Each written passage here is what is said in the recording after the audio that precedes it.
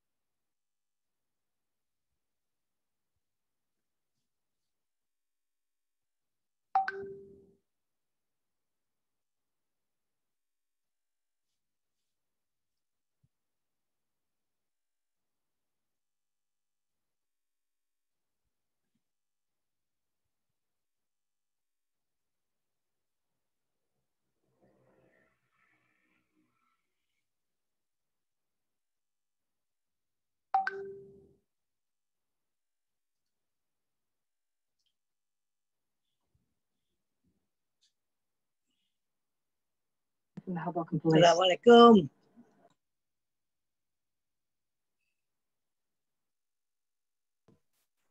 Waalaikumsalam, Jazan.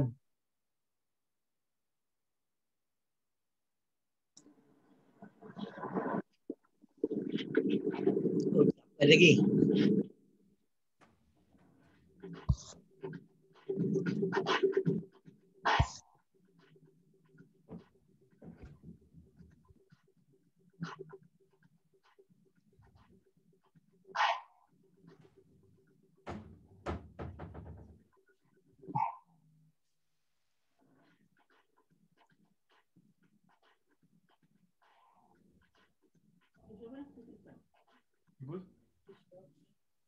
Eh, apa khabar?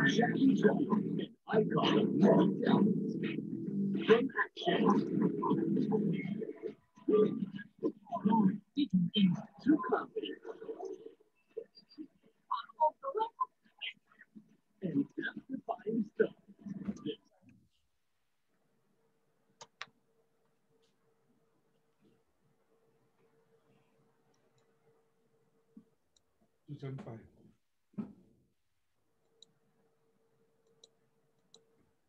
Yap. Yang apa?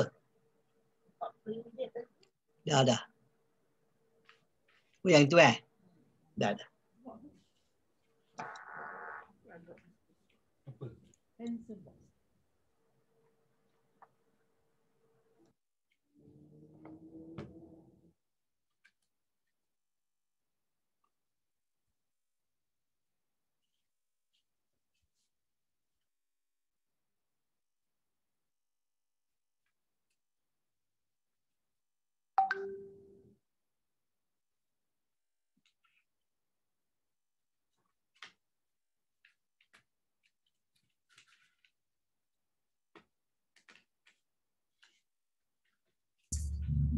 Assalamualaikum.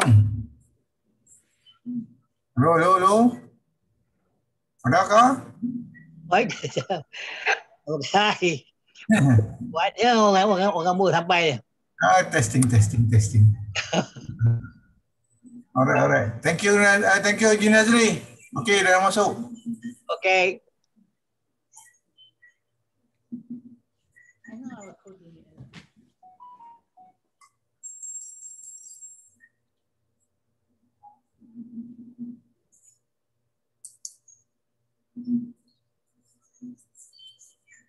Aku hidup lah, kata ah. Man, Man, tu tak masuk, dia tak boleh masuk, because dia tak bayar. Please. Dia, Eh tak ada macam tu, bukan macam tu. Sama dia, ah, kan apa tu orang ni? Hidup je. Saya. Jok lah. ah, masa ni masih kejut. Eh, kita bayar double lah.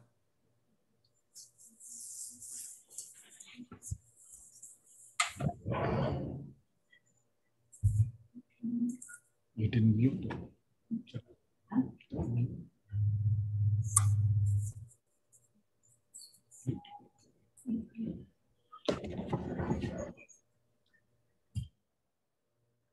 Apa pasal gelap pula?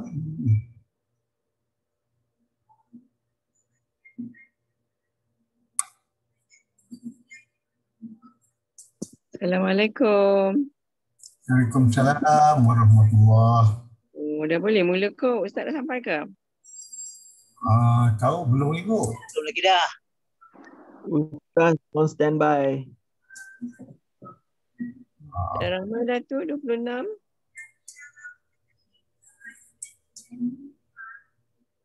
Ni hari kurang orang sikit. Dia orang masuk lambat lain kot. Itulah. Boleh je kita start kan. Ah boleh dah. Saya pakai yang lama je tak boleh masuk lah. Kena hantar baru punya lah.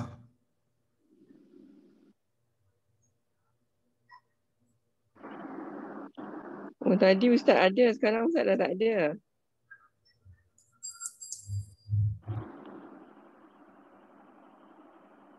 Ah, pun. Kan Ustaz dah tak ada dah. Tak ada lah. Belum ada pun.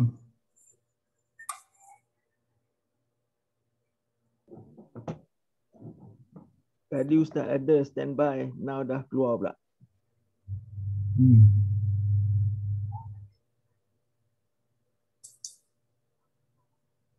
Oh, tu dia. Pasal video, no wonder lah. Tak apa kawan.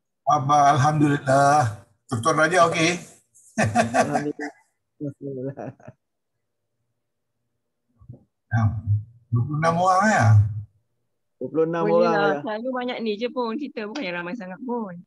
Kan? Ya. Mungkin monitor kena suruh lah Ustaz start. Dah tinggal 25 pula dah.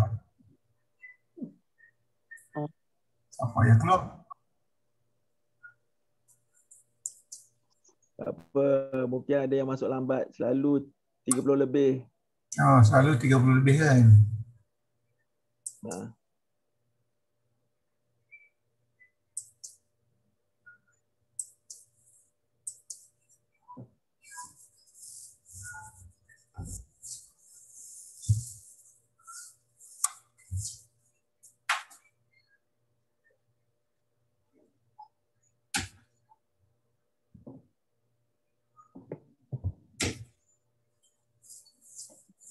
sebelah. Tak apa ni?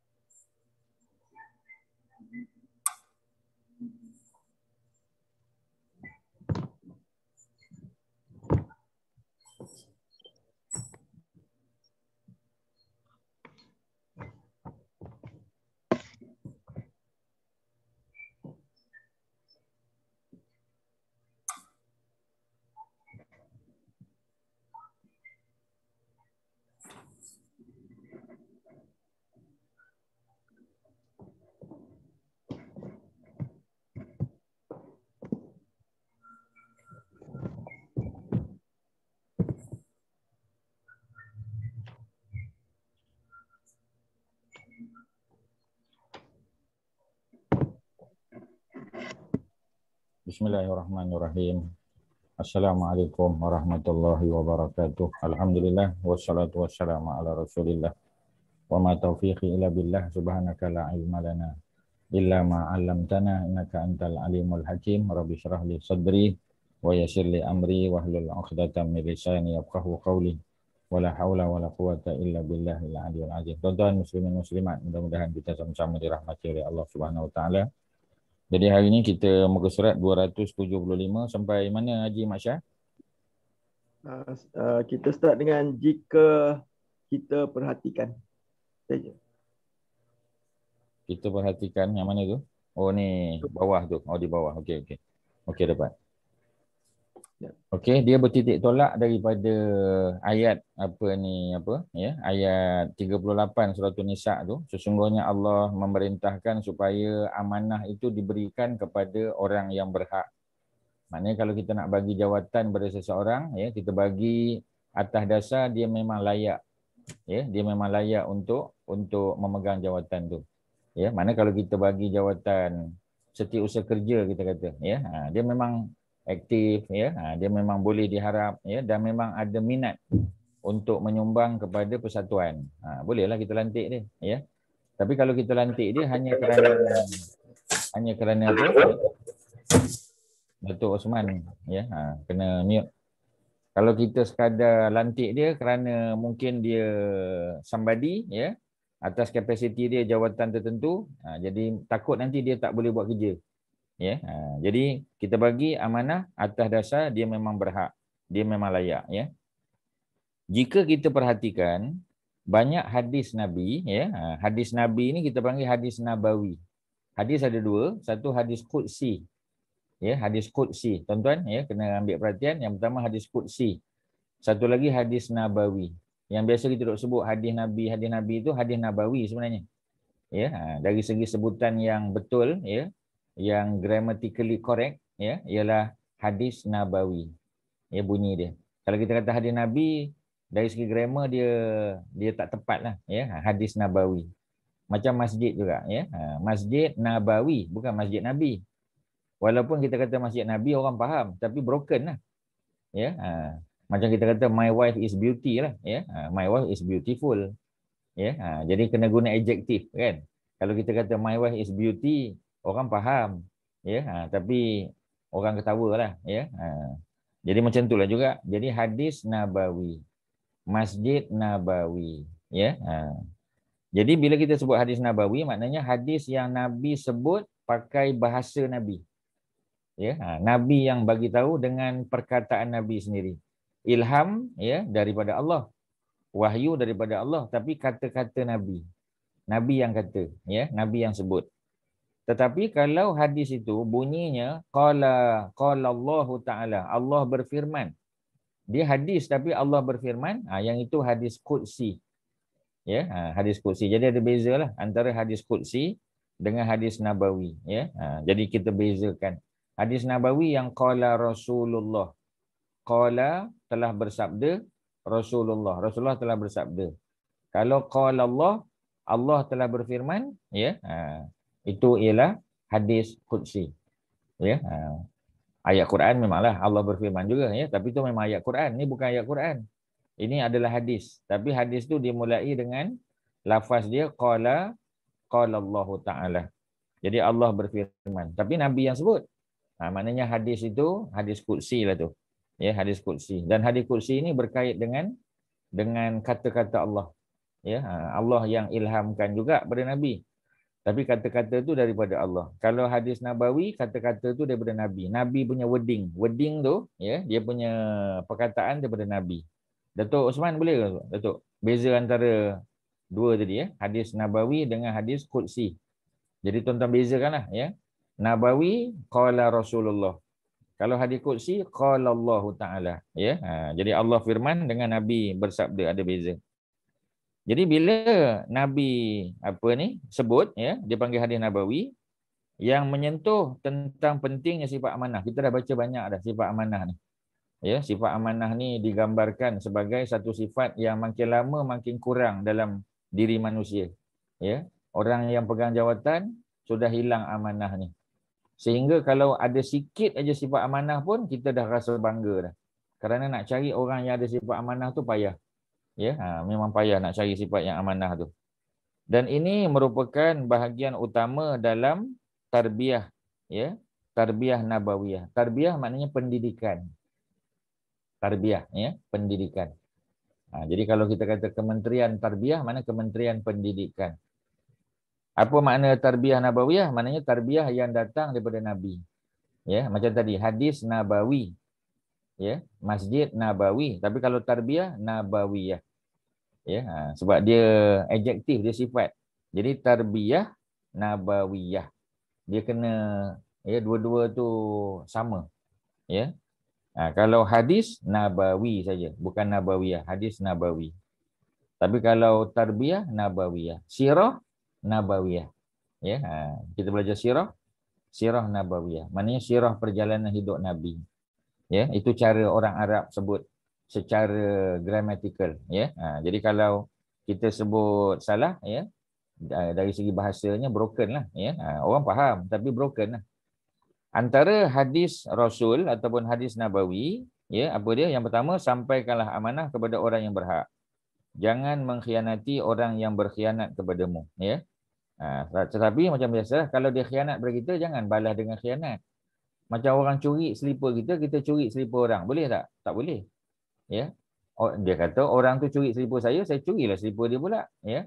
Ha, itu hukum manusia. Ya. Tapi hukum Allah tak boleh. Jadi kalau dia curi selipar kita dia berdosa kita curi selipar dia kita pun berdosa juga. Ya dan kita salahkan dia. Kita kata dia yang mulakan. Dia curi ni tak ada siapa dulu siapa kemudian. Dua-dua salah. Ya ha, dua-dua salah. Kerana apa? Ya kerana kerana kedua-duanya melakukan kesalahan yang sama cuma dia curi dulu kita curi kemudian. Itu saja beza dia. Ya ha, tapi ada beza ada beza tak dari segi dosa dan kesalahan? Tak ada beza. Dua-dua berdosa.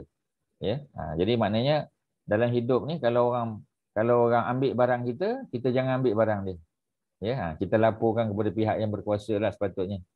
Ya Ha, jadi bila pihak berkuasa yang ambil tindakan, so kita tak salah lah. Ya, kita tak salah.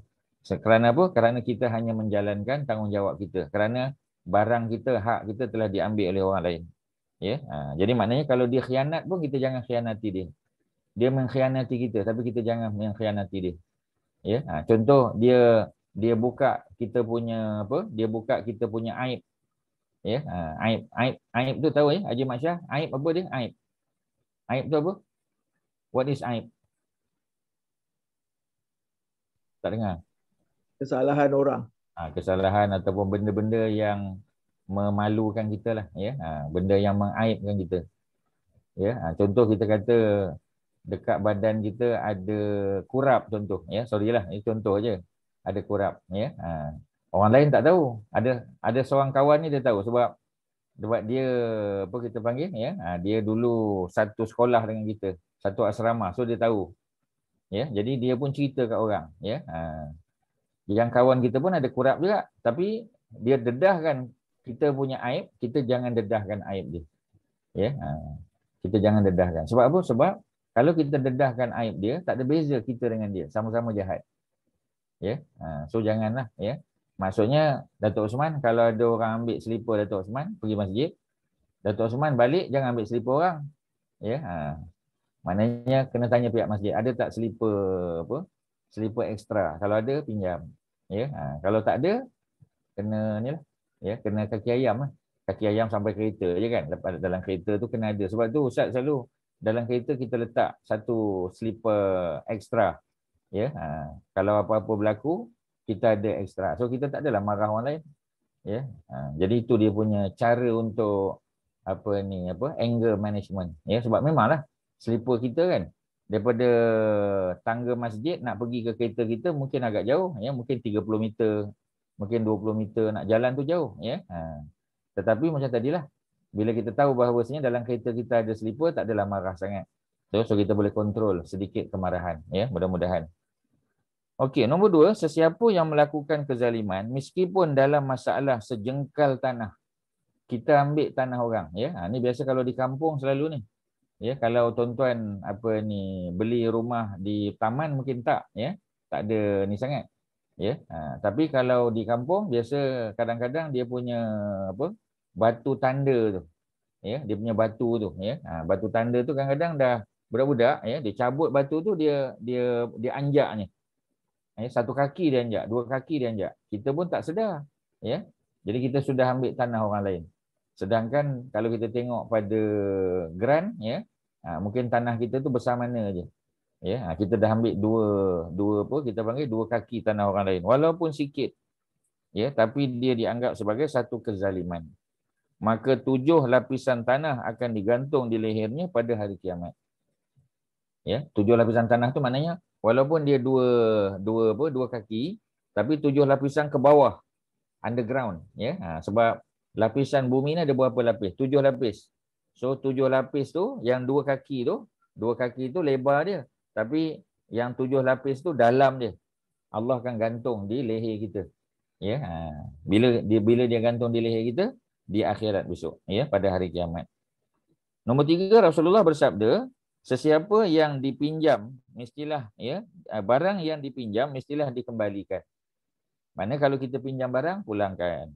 Ya, ha. biasanya kita pinjam buku kawan ni, kadang pinjam buku, kadang kita pinjam majalah, kadang kita pinjam benda-benda yang bukanlah mahal sangat. Ya, ha, benda tu mungkin harganya RM30, RM40, ya. Ha, tapi kita tak pulangkan dan kita pun tak minta izin daripada orang tu. Kita kata buku yang saya pinjam tu dah dah koyak lah, ya. Ha, dah dah tanggal dia punya kulit luar dia. Macam mana? Boleh halal ke? Dia pun kata halal. Okey, halal clear lah. Tapi kalau dia tak halalkan, dia tetap milik orang lain dan kita kena pulangkan. Ya. Ha. Dan kalau benda tu dah koyak, kita hantarlah kedai suruh dia buat apa ni cover baru. Ya keluarlah belanja sikit. Ya, ha. kadang-kadang benda-benda macam tu kita kurang ambil perhatian. Ya. Kadang-kadang orang perempuan kalau di kampung lah, tak tahu di bandar lah. Ya, di kampung kita, kita rewang kan.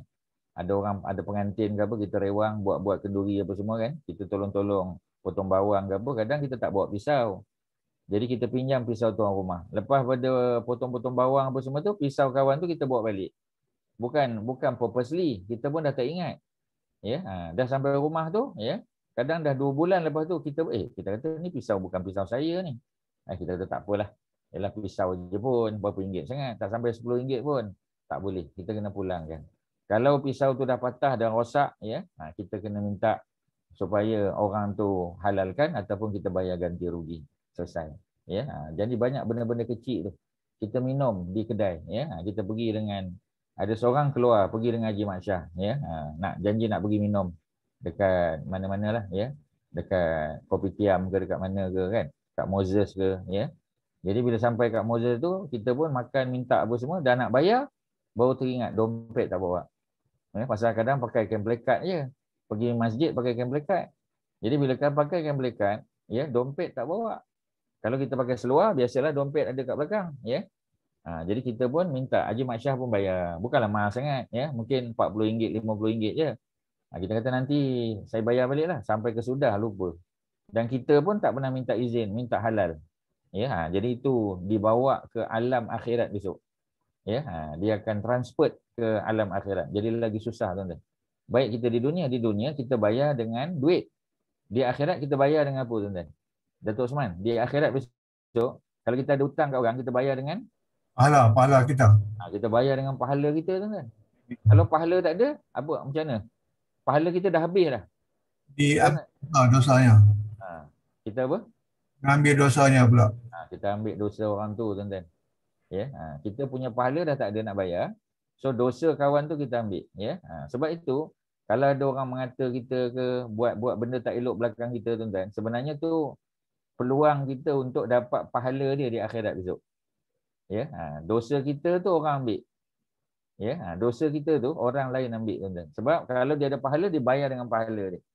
Kalau tak ada pahala dosa kita dia ambil, ya. Sebab itu ada orang yang banyak dosa tapi sampai di mahsyar besok tuan-tuan, dosanya makin lama makin kurang, makin lama makin kurang. Kerana orang banyak mengata dia, mengutuk dia, ya, fitnah dia, macam-macam buat, ya. Dan akhirnya, ya, dosanya habis. Walaupun pahalanya sikit, masuk syurga dia tuan-tuan kerana dosanya sudah selesai. Ya. Ha.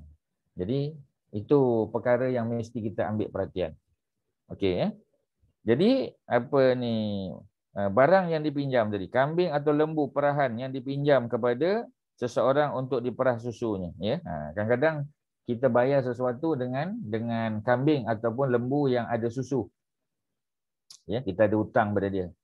Jadi bila kita ada hutang, kita kata saya tak mampu bayar tapi saya pinjamkan lembu susu saya ni. Ha, jadi awak boleh perah susu dia selama seminggu atau selama dua minggu. Perahlah susu sebanyak mana. Lepas dua minggu kena pulangkan balik. Tapi bila sampai waktu kita tak pulangkan. Jadi benda ni mungkin tak biasa dalam masyarakat kita. Ya, ha, tapi dalam masyarakat penternak ya, pengembala tu benda tu biasa. Zaman Nabi, ya, zaman Rasul dulu biasa, ya, sebab kambing memang mengeluarkan susu, unta mengeluarkan susu, ya. Jadi bila dah habis susu diperah dan susunya diberikan kepada yang memerah tadi harus dikembalikan kepada orang yang mempunyai hutang. Ya, orang yang mempunyai itu. Mana orang yang memiliki tadilah. Hutang juga harus dibayar dan orang yang siap menanggung hutang orang lain harus membayar kerana statusnya menjadi orang yang berhutang. Ya, ha, maksudnya apa? Ya, kita tak ada hutang, tetapi ya kita jamin orang lain. Kita jamin. Macam tuan-tuan jamin peminjam lah. Ya. Ha, jadi ada anak buah Haji Mat Syah contoh nak sambung belajar. Jadi bila dia nak sambung belajar, dia minta kita jadi guarantor lah. Ya, ha, GPA ke MARA ke. Ya. Ha, jadi kita kata saya ni berat sikit tapi dia kata tolonglah pak cik ya tak ada siapa nak nak jadi guarantor saya nak jadi penjamin tolonglah pak cik ya ha, nanti bila saya habis belajar nanti ya saya bayarlah balik ya ha, bila dah ada kerja saya bayar balik tolonglah pak cik takkanlah pak cik tak percaya dengan saya tu susah tu tuan-tuan ya ha, tak percaya tak percaya tu bayar dia kata alah nanti habis belajar saya terus bayar jangan bimbang memanglah cakap memang manis lah tuan-tuan ya tapi sampai waktunya tak bayar ha, jadi bila dah habis dah habis cerita ya Ha, dia pun tak balik Malaysia. Tak balik Malaysia, kerja kat overseas. Hutang pun tak bayar. ya Marah ataupun JPA cari kita. Jadi, kita kata, eh saya tak buat pinjaman. Saya hanya apa ni apa penjamin saja. Tak peduli. Dari segi undang-undang, sebab kita dah janji. Ya, sebab bila kita sebagai guarantor ataupun sebagai penjamin, ya memang kaedah dia kita kena bayar kalau anak buah kita tak bayar. Ya, Masalah anak buah tak bayar, dia memang berdosa di hadapan Allah. Tapi dalam hubungan manusiawi, kita kena bayar. Ya, ha. itulah cerita ni. Ya, memanglah kita kata kejam, zalim. Tapi itulah undang-undang yang telah dibuat. So kita kena kita kena patuh. Kerana ya orang yang yang menjamin tadi, ya sekarang statusnya menjadi orang yang berhutang. Dia pula jadi orang yang berhutang. Ya, ha. sedangkan dia tak belanja satu sen pun. Yang dapat duit beasiswa tu ialah anak buah dia anak buah dia pun dah jadi dah jadi apa kita panggil dah jadi medical doctor lah ya dekat di overseas tak mau balik Malaysia kahwin dengan orang sana kerja sana ya ha, kita pula yang kena menanggung hutang ni ya kan tak patut. Ya ha, tapi nak buat macam mana? Itulah undang-undang yang perlu kita patuh. Kemudian mendapat seseorang yang bertanya. Ya ha, terdapat seseorang yang bertanya bagaimana dengan janji kepada Allah? Rasul menjawab janji kepada Allah lebih utama. Ya, ha, kalau janji pada manusia pun kita kena penuhi, janji pada Allah lebih-lebih lagi. Nombor empat, Rasulullah bersabda, kamu semua adalah pemimpin. Ya, kita semua pemimpin. Sama ada pemimpin peringkat negara, peringkat negeri, peringkat kampung, peringkat daerah, peringkat keluarga, ya. Dan kita akan diminta tanggungjawab atas kepimpinan kita. Maksudnya kita bertanggungjawab atas orang bawah kita. Ya, sebagai seorang suami, kalau isteri kita tak solat, isteri kita berdosa, kita pun berdosa juga. Pasal kita tak tegur dia. Kita tak ajar dia. Isteri kita tak pandai baca Quran. Ya? Ha. Dia kata, ah, itu masalah dia lah pasal dia tak pandai. Oh tak. Sebab dia adalah isteri kita. Kalau kita tak mampu nak mengajar dia, kita ambil ustaz datang rumah kita. Kita ambil tutor datang rumah kita mengajar. Ya, ha. ada ramai dekat luar tu kita boleh ambil. Ya, ha. jadi oleh kerana tu kita bertanggungjawab. Dan kalau dia tak pandai juga setelah berusaha tu lain cerita. Ya katalah dah ajar dah tak mau tak pandai juga itu lain cerita tapi setelah berusaha dengan dengan sungguh-sungguh ya seseorang lelaki adalah pemimpin keluarganya dan dia akan diminta tanggungjawab atas kepimpinan seorang wanita bertanggungjawab atas rumah suami dia. Bila suami dia tak ada dia bertanggungjawab. Ya? Seorang pembantu bertanggungjawab atas harta tuannya. Dan dia akan diminta tanggungjawab atas tugas tersebut. Ya? Ha, jadi dia pembantu rumah. Jadi apabila tuan rumah tak ada, dia kena jaga harta dekat rumah tu. Tak boleh dia dia jualnya pula. Ya, ha, banyak apa ni pembantu rumah ni kadang-kadang ya, barang kemas majikan dia pun dia kebas juga. Ya, ha, dia balik kampung dia bawa barang kemas sekali. Ya, ha, tak boleh lah. Ya, dia kena jaga macam harta dia juga sebab itu tuan dia. Kemudian apa lagi? Ya, dan seseorang lelaki bertanggungjawab menjaga harta orang tuanya dan diminta tanggungjawab atas tugasnya. Ya, ha, jadi dia sebagai anak dia diminta tanggungjawab. Ya, so dia kena jagalah. Ya, yang payah ni kalau anak sulung lah payah sikit Haji Masyah. Eh. Ha, jadi kita anak sulung. Ya, jadi adik-adik ramai. Jadi apabila berlaku apa-apa hal, ya, adik-adik akan salahkan kita. Dia kata abang tak bertanggungjawab. Sedangkan selama ni mungkin kita lah yang jaga harta tu. Kita tak ambil, tak makan sikit-sikit pun. Kita hanya diberi amanah oleh bapa kita. Kita tolong jaga saja. Ya, ha. tapi adik-adik tuduh kita ambil untung lah, ambil itulah, ambil ni lah. Ya, sedangkan kita tak buat. Itu dia punya risiko lah. Ya, ha. tapi macam tadi lah. Ya, kalau kita dituduh, nak buat macam mana? Ya, ha. jadi kita bincang balik adik-adik. Tak apalah. Ya, sebab kau orang dah tuduh aku, maka kita lantik orang lain pula ya ha. cuba cuba tengok bila kita lantik orang lain tak ada orang nak pegang ya ha, masa tu barulah tak apalah abang peganglah ya ha. tahu dia tahu dia dia dia tahu benda tu tanggungjawab tu susah berat nak pegang selama ni kita pegang dia mengata kita dia tuduh kita macam-macam ya ha. jadi bila kita bagi dia pegang tak mau pegang macam mana ya ha tu cerita dia jadi kadang-kadang apa ni macam tanah kan tanah ladang ke apa ya ha, kawasan lalang dah naik ya rumput dah naik apa semua. Jadi benda-benda tu ya apa ni kita lah panggil apa ni apa mesin rumput ya ha, kita upah. Kadang kita keluar duit kita sendiri pun ya kita tak ambil pun daripada daripada duit ladang tadi tak ambil apa pun ya. Ha, jadi oleh kerana tu kita pula kena tuduh. Tak apalah nak buat macam mana kan. Mudah-mudahan ia menjadi amal soleh kita lah ya ha, mudah-mudahan dosa kita besok diambil oleh orang lain. Dan pahala orang lain bagi kat kita ya. Ha, jadi sebab itu kita tak boleh menilai seseorang berdasar kepada yang zahir saja. Ya kadang-kadang kita tengok orang ni adalah sembahyang sunat pun tak rajin sembahyang fardu je. Sembahyang sunat tak buat kita kata apalah tak buat. Ya puasa sunat pun tak nak. Ni nisfu syaban tadi tak puasa. Kita tanya dia ya. Ha, dia tak puasa kita tengok alah nisfu syaban pun tak nak puasa. Ya ha, kita cakap macam tu. Ya ha, kita tak tahu amalan dia yang lain kita tak tahu ya mungkin buka puasa tadi, buka puasa Isnin tadi kan? Ya, kebetulan tadi 15. Memang 15 hari bulan Syaban. Tapi 15 ni memang sunat puasa. Sebab hari putih kan? 13, 14, 15. Sabtu, Ahad, Isnin. Memang sunat puasa. Kebetulan tadi pula 15. Ya, kena pula hari Senin. Ya, ha, tu double tuan-tuan. Dah lah hari putih 15 hari bulan. Kena pula hari Senin. Ya. Ha, jadi betul-betulan pula malam tadi nisbu Syaban ya hari ataupun malam di mana Allah melihat ibadah hamba-Nya. Dia tak ada ibadah khusus. Tapi kalau kita bangun malam baca Quran, kita sembahyang tahajud, kita doa, mudah-mudahan doa mustajab. Sebab malam ni sebut Syaban ni antara malam yang yang mustajab doa, ya. Ha, minta maaf lah kita sebut ni postmortem lah tuan-tuan. Sebab dah dah berlalu. Pasal nak buat macam mana? Usrah kita malam Senin. Ya. Ha, jadi malam tadi patutnya kita sebut kan, tapi nak buat macam mana dah terlepas. Ya, tapi bagi tuan-tuan yang beribadah alhamdulillah jadi kadang-kadang ya kita pun tak tahu. Kita kata apa kau pun tak puasa, ya. Rupa-rupanya yang menyediakan buka puasa petang tadi kawan yang tak puasa tu. Kawan yang tak puasa tu, kita puasa. Ya, ha, tapi kita tak sediakan makanan orang buka. Yang kawan tadi tak puasa. Dia sediakan makanan orang buka, 50 orang buka puasa. Dalam hadis Nabi kata, sesiapa yang memberi makan kepada orang yang berpuasa, maka baginya pahala macam orang yang berpuasa tersebut. Ha, apa nak cakap tuan-tuan? Ya, ha, memang hadisnya sahih. Ya, man man apa kita apa? Man aftara iman. Sesiapa yang memberi makan kepada orang berpuasa, falahu mislu ajrihi, maka baginya seperti pahala orang yang berpuasa tadi, ya. Ha, dan dia pun ikhlas. Ya. Sebenarnya dia nak puasa, tapi kebetulan ya, tak boleh nak puasa hari itu. Ya, mungkin ada masalah perut ke masalah apa ke tak boleh puasa. Selalu dia puasa. Hari tu dia tak puasa. Kita pula tengok yang tak puasa tu. Kita pun mengata-ngata dia. Ya. Ha.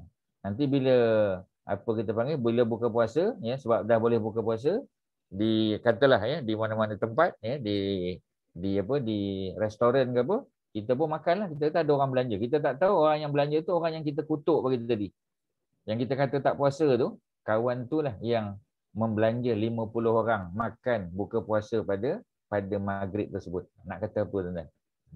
Malu malu besar kita tuan-tuan. Ya, ha. jadi itulah ceritanya jangan jangan cepat jump into conclusion. Ya, ha. jadi itulah masalah kita, ya. Jadi tu kalau kita boleh detailkan sikit, ya. Ada apa soalan setakat ni? Ada apa nak tanya? Haji Nazri ada apa Haji?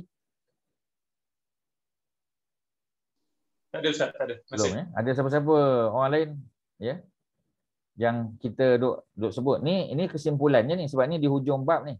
Kesimpulan je hadis-hadis dia kita dah baca. Ya, ha, yang ustaz bagi contoh-contoh ni, ya kebanyakan kita dah bagi contoh sebelum ni. Ya, ha, mungkin satu dua contoh barulah. Ya, tapi secara umum hadis-hadis ni kita dah lalui dan tak ada sebut teks lagi, ya. Ha, dia sebut secara umum saja. Nombor lima Rasulullah bersabda sesiapa yang mendapat harta dengan cara yang tidak halal. Ha, ya, ni ambil perhatian semua orang. Ustaz pun ya, tuan-tuan pun ya. Ya, sesiapa yang dapat harta secara tidak halal, tidak syariah compliant. Kemudian dia belanjakan harta itu, maka Allah tidak akan bagi berkat kepadanya. Tak ada berkat tuan-tuan. Yang itu yang kita bimbang tu, ya. Ha.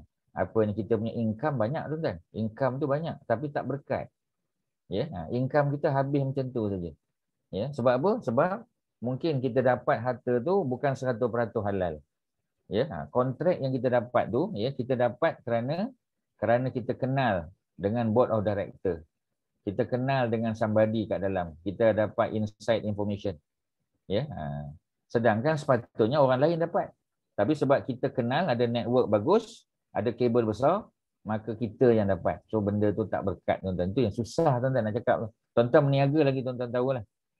Ya. Ha. Jadi kalau tuan-tuan meniaga lagi tuan-tuan tahu. Sebab apa? Sebab ya, sebab dia hilang keberkatan. Hilang keberkatan, hilang berkat. Tak berkat. Apa contoh Haji Nazri, apa contoh harta tak berkat ni macam mana kita kata? Kesan ni macam mana? Harta tak berkat ni? Ber- Ah. tu, harta tak berkat macam mana? Kalau benda tu ada pada kita, macam mana? Macam mana kita tahu harta tu tak berkat? Contoh je lah.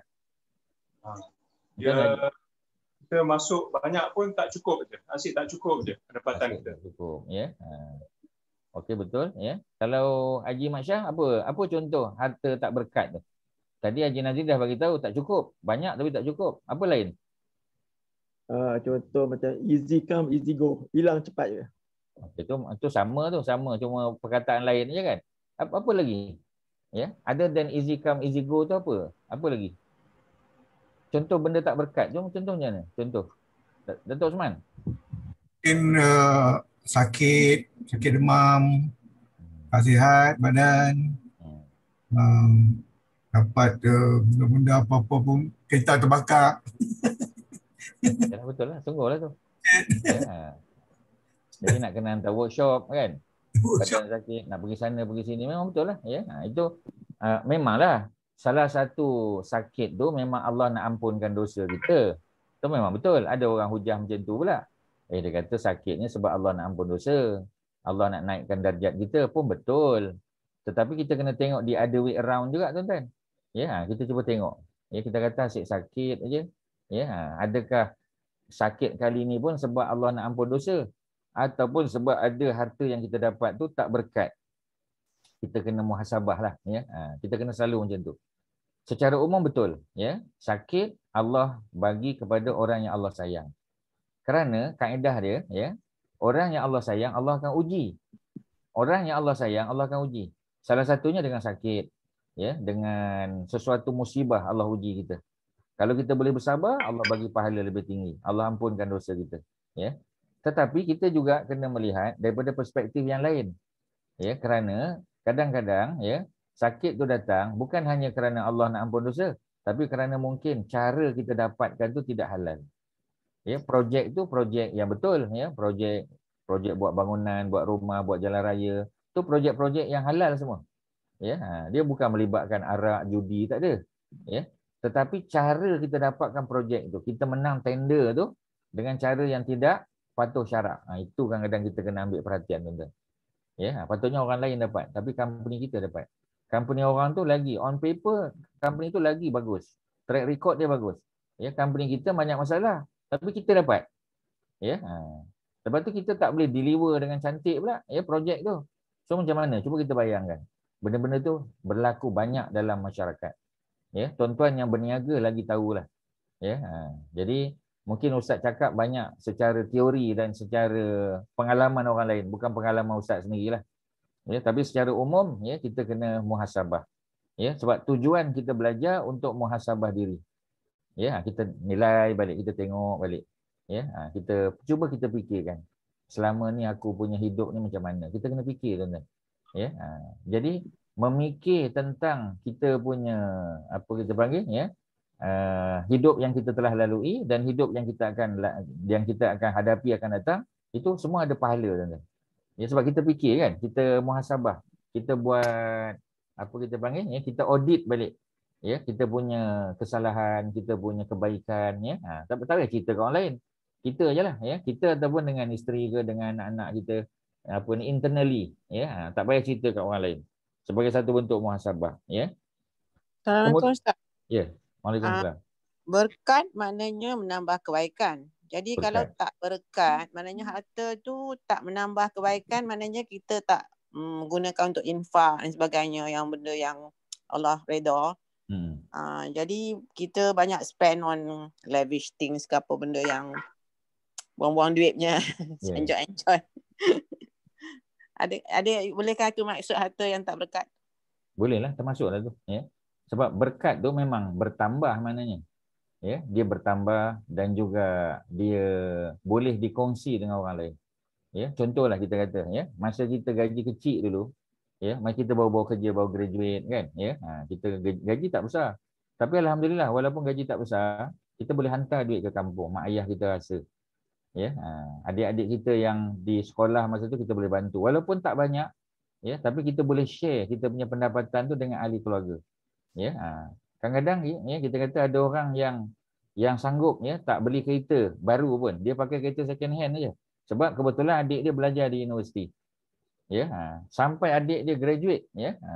adik dia dah graduate dah kerja baru dia tukar kereta baru tuan ada orang sampai peringkat begitu kita tengok pakai kereta pakai kereta second hand ni sebab dia pun graduate kan takkan takkan baru grad nak pakai kereta besar melainkan bapak kita toke lah Ya, tapi kalau kita independen, ya, ha, pakai yang biasa-biasa saja. Kerana kita ada tanggungjawab lain. Ya, ha, kalau macam ustaz sebab ustaz nak sulung, kita tahulah. Haji Mak Syah dia nak sulung, dia tahu. Ya, ha, macam mana. Jadi kita kena banyak berkorban untuk adik-adik kita. Ya, ada benda yang kadang-kadang kita nak beli tapi kita tak apalah. Ya, ha, sebab apa? Sebab kalau aku tak beli, duit ni aku boleh guna untuk ahli keluarga. Ya, ha, mudah-mudahan dia jadi berkat. Ya, mudah-mudahan. Tapi kalau pendapatan kita besar, ahli keluarga pun tak boleh nak rasa duit kita. Ya. Ha. Kita tak pernah pun kita kata keluar duit untuk contoh kalau mak kita ada lagi. Mak kita tak pernah pergi umrah ke tak pernah pergi. Kita pun tak pernah sponsor mak kita. Kadang-kadang kita tak bolehlah sponsor semua tak mampu. Ya, tapi sebahagian. Ya, ha. mak kita selalu cakap, mak mak kita kata, mak ni kalau ada ada duit lebih mau juga buat umrah ni. Ya, mak teringin tengok orang pergi umrah, ya pergi haji ya tapi duit tak cukup ya ha, kita pun tanya berapa yang mak tak cukup tu ya ha, mak ada berapa sekarang ya ha, dia kata kalau nak pergi umrah ni paling kurang 7000 7000 setengah cantik lah. Mak ada berapa? Mak ada 5000 je. 2000 setengah kita kita top up tuan ya ha, kita ada tak buat macam tu? Ni secara umum. Bukan nak tuan-tuan bagi tahu siapa buat siapa tak buat. Tapi maknanya kita pernah tak macam tu? Kadang-kadang bukan mak kita abang kita ataupun adik kita. Dia kata abang ni teringin ya ha. masa kita belajar dulu abang kita tu yang korban banyak. Abang kita pandai tapi dia tak boleh sambung belajar. Pasal adik-adik ramai ya ha. kita sponsor dia bantu adik dia ha, bantu anak dia ya contoh sebab biasa ya kalau seorang uh, lelaki tu ya ha, dia belajar pandai tapi tak boleh further sebab masalah kewangan Allah buat anak-anak dia pula berjaya tuan-tuan ya ha. kadang-kadang kita tengok abang kita ya ha. abang kita tu biasa je dia kelak je dekat dekat pejabat kerajaan tapi anak-anak dia semua bagus-bagus tu kan ya anak dia semua berjaya Allah Allah adjust ya maknanya bapa dia tak boleh pergi anak-anak dia pula Allah buat berjaya. Ya ha. dan abang kita tu masa kita belajar dulu abang kita banyak bantu. Bila anak dia pula susah kita boleh bantu. Itu mudah-mudahan rezeki berkat tuan-tuan. Ya tapi kalau duit kita tu habis dengan benda-benda macam tadi Kak Mai sebutlah ya. Benda-benda yang yang tak perlu. Ya ha, benda-benda yang tak perlu. Ya ha, tapi janganlah langsung rumah tak ada perabot tuan-tuan. Ya kita pergi rumah kosong habis tuan-tuan. Ya tak ada perabot Ya, orang nak duduk pun tak ada, tak ada langsung. Ya, ha, itu melampau. Ya, ha.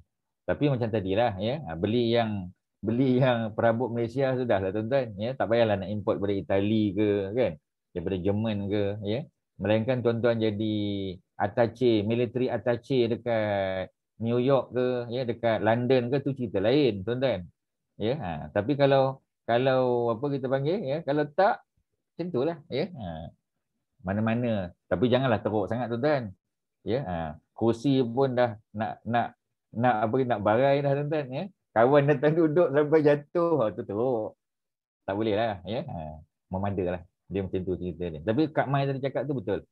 Ya, ha. Kita muhasabah tuan-tuan. Mungkin kita pernah buat benda-benda macam tu, tapi kita muhasabah balik, tengok balik tuan-tuan. Ya, ha. tengok balik. Mana-mana yang kita boleh baiki, kita baikilah. Ya, sebab damage has been done tuan-tuan damage has been done. Yang kita boleh buat ialah damage control. Ya, kita kontrol apa yang dah dah benda dah berlaku. Nak buat macam mana? Ya, ha, kita baiki mana-mana yang boleh. Ya, ha, tu kalau ustaz boleh detailkan. Ada tuan-tuan yang lain kalau ada nak bagi contoh yang tentang berkat ni. Tanya Ustaz, Ya. macam selalunya kadang-kadang macam haji ke, Hmm. ki- macam orang ada kabel-kabel dia cut the turn, orang punya turn yang dia dapat pergi. Uh, I mean kalau dia uzur ke apa nak pergi cepat ke apa boleh. I mean itu excusable lah tapi yang tak ada excuse punya tu tapi dia ada kabel. I mean uh, itu kira okey ke tak okey Ustaz? Kabel mana? Kalau kabel tu kabel, contoh kita kata kan. Orang dalam maksudnya orang dalam yang Yalah, maksudnya kalau dengan tabung haji tak boleh lah. Pasal kita Ah, kena tunggu haji, queue. Kita nak pergi Ya. haji kan tabung haji kan? Tak, eh, boleh pergi dengan dengan swasta, syarikat-syarikat swasta, Andalusia ke Gemilang ke boleh je kan. Ha, jadi maksudnya kalau kita katalah ya, kita memang kenal orang Andalusia tu. Tapi package yang murah-murah tak ada. Yang ada kalau nak pergi juga tahun tu kena package mahal dan kita mampu. Tu tak ada masalah, boleh. Hmm, Kita hmm. tidak dianggap mengambil kita tak dianggap potong trip orang lain. Ya, ha, yang yang potong trip tu kalau kita kenal somebody dekat dekat apa tabung haji tu bahagian yang tentukan siapa pergi tahun ni siapa pergi tahun ni ya ha, jadi nama orang lain tu dia dia tolak ke bawah nama kita dia dia naikkan. Oh tu tu memang tak boleh lah. Ya tak boleh lah kita potong trip. Ya ha, tapi kalau kita tak potong trip kita hanya bayar lebih kepada kota yang diberi ya oleh tabung haji kepada syarikat-syarikat swasta tu ada 20 apa ni apa company yang dibagi apa apa kita panggil bagi kota ya? Ha, 20 company besar-besar tu lah ya? Ha, jadi kalau 20 company besar-besar tu dan kita kenal orang situ ya? Ha, kita pakai kabel juga ya? Tapi memang package tu tak ada siapa beli. Package tu mahal kita ada duit ya? Ha, boleh tak? Itu tak ada masalah sebab kita tak potong trip orang. Kita tak pijak kepala orang ya? Ha, boleh pergi tiap-tiap tahun pun boleh. Ada orang pergi tiap-tiap tahun ya? Dia tak ambil dia tak ambil kota orang lain. Ha, tapi kalau tabung haji tu tak boleh. Melainkan tabung haji package tabung haji lah ya ha, package Intan Baiduri ke ya Intan Belian ke apa tu ya yang duduk dekat tempat-tempat yang memang istimewa tapi kita tak tak pijak kepala orang. Ya ha, kita memang ada duit kita pergi. Boleh tak? Oh tu boleh tak ada hal. Ya ha, jadi kita kena tengok macam mana apa maksud potong trip macam mana tu? Ya ha, tu cerita dia. Boleh eh tuan-tuan ya? Hmm, terima kasih. ada lain silakan tuan-tuan? Ya sama. Ada lain silakan? Ada apa Haji Don senyap je Haji Don Haji Hassan senyap je ya. Bagilah komen sikit ya. A- apa Datuk Azizul tak ada ke ni? Dia tak ada ustaz. Pergi meeting. oh Kuantan. pergi- Kuantan ya. Ya. merentas merentas negeri lagi dia ya. Ha ah. Nak macam ni. merentas negeri je ya. Ha, jadi tak apalah ya. Orang lain ni tak boleh merentas-rentas ni ya. Asyik merentas desa je cross country cross country tak boleh ya ha, dulu cross country ni boleh cross country cro- cross state ya ni cross apa ni daerah aja boleh ya Okey, seterusnya apa lagi kat situ? Jika harta itu disedekahkan, maka sedekahnya tidak akan diterima. Sama tuan-tuan. Kalau kita dapat, okey ya. Dapat sesuatu secara haram, tidak halal, ya. Uh, kita kalau keluarkan zakat pun tak dapat pahala tuan-tuan. Tak boleh ya. Ada orang dia dapat secara tak halal, kemudian dia nak bersihkan ya melalui zakat. Zakat tak terima tuan-tuan. Kerana zakat hanya dikeluarkan daripada harta yang halal. Tentu tuan kena pegang ya prinsip dia. Jadi kalau kita dapat projek secara tak halal, kemudian kita nak bersihkan, kita nak bagi puas hati, ya, kita keluarkan zakat, kita keluarkan sedekah, ya. Sedekah tidak akan diterima. Zakat Allah tak terima. Ya. Ha, kita gunakan pula duit tu untuk pergi haji dan umrah. Macam mana tuan-tuan? Cuba kita bayangkan, ya. Jika harta itu disedekah tak boleh dan bakinya adalah menjadi bekal menuju neraka. Ha yang takut tu tuan-tuan. Yang itu yang kita takut tu. Sesungguhnya keburukan tidak boleh digunakan untuk menghapus keburukan. Tak boleh. Ya, Duit-duit curi, ya, ha, dia dapat secara tak halal. Ini kita panggil, apa tuan-tuan? Ya? Dia, money apa dia panggil? Ya? Nak bersihkan balik duit tu. Apa dia panggil? Money laundering. Money, Money laundering. laundering. Ya, ha, money laundering. Daripada duit tak halal, duit judi, duit arak, duit apa, ya, dapat pada tak tahu daripada mana, Kemudian ya dia masukkan dalam company dan company itu jual benda-benda yang halal pula. Tak boleh lah. Sebab sumber dia tu tak boleh. Ya, sumber dia tak boleh. Okey, Ustaz bagi contoh dalam sirah ya. Ada masa Nabi bina Masjid Nabawi dengan Masjid Quba di Madinah, ada satu orang ketua munafik, ya, ha, ketua munafik daripada kalangan Aus. Ya, bukan Khazraj. Kalau Khazraj tu Abdullah bin Ubay. Ini daripada Aus. Ya, ha, daripada Aus jadi dia nama dia ialah Abu apa nama dia ya. Nama dia ialah Abu Rafiq.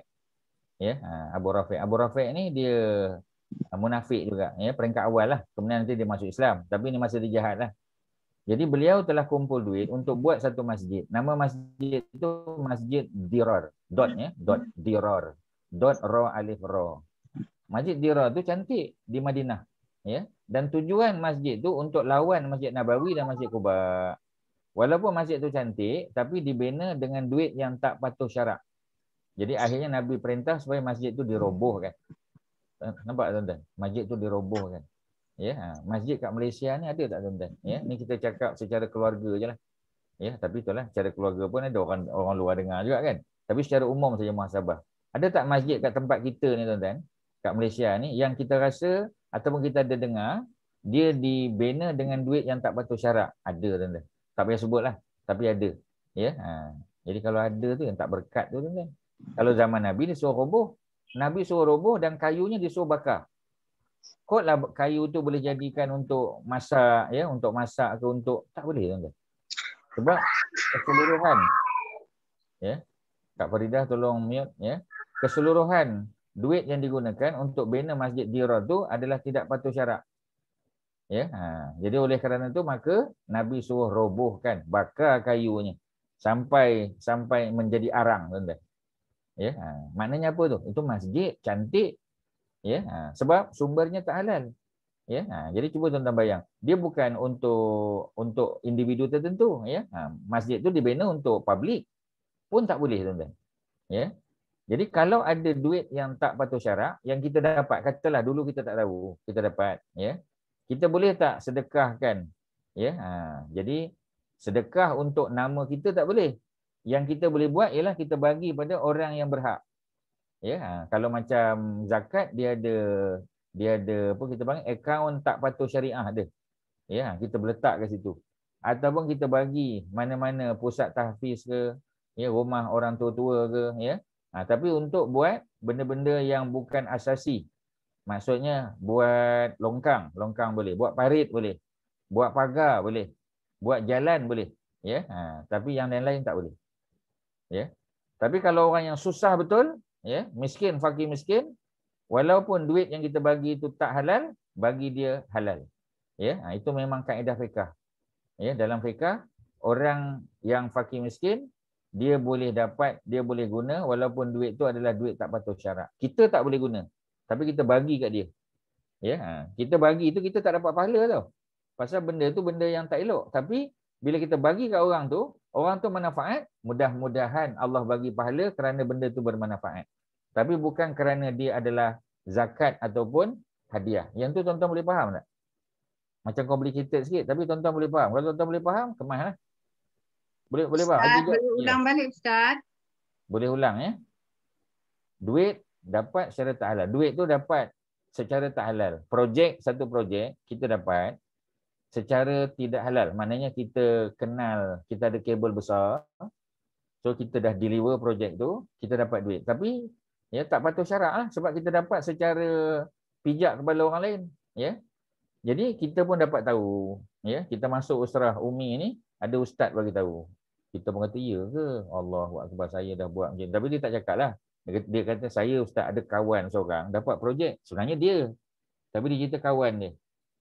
Ya, ha, jadi macam mana nak settle ni dia kata.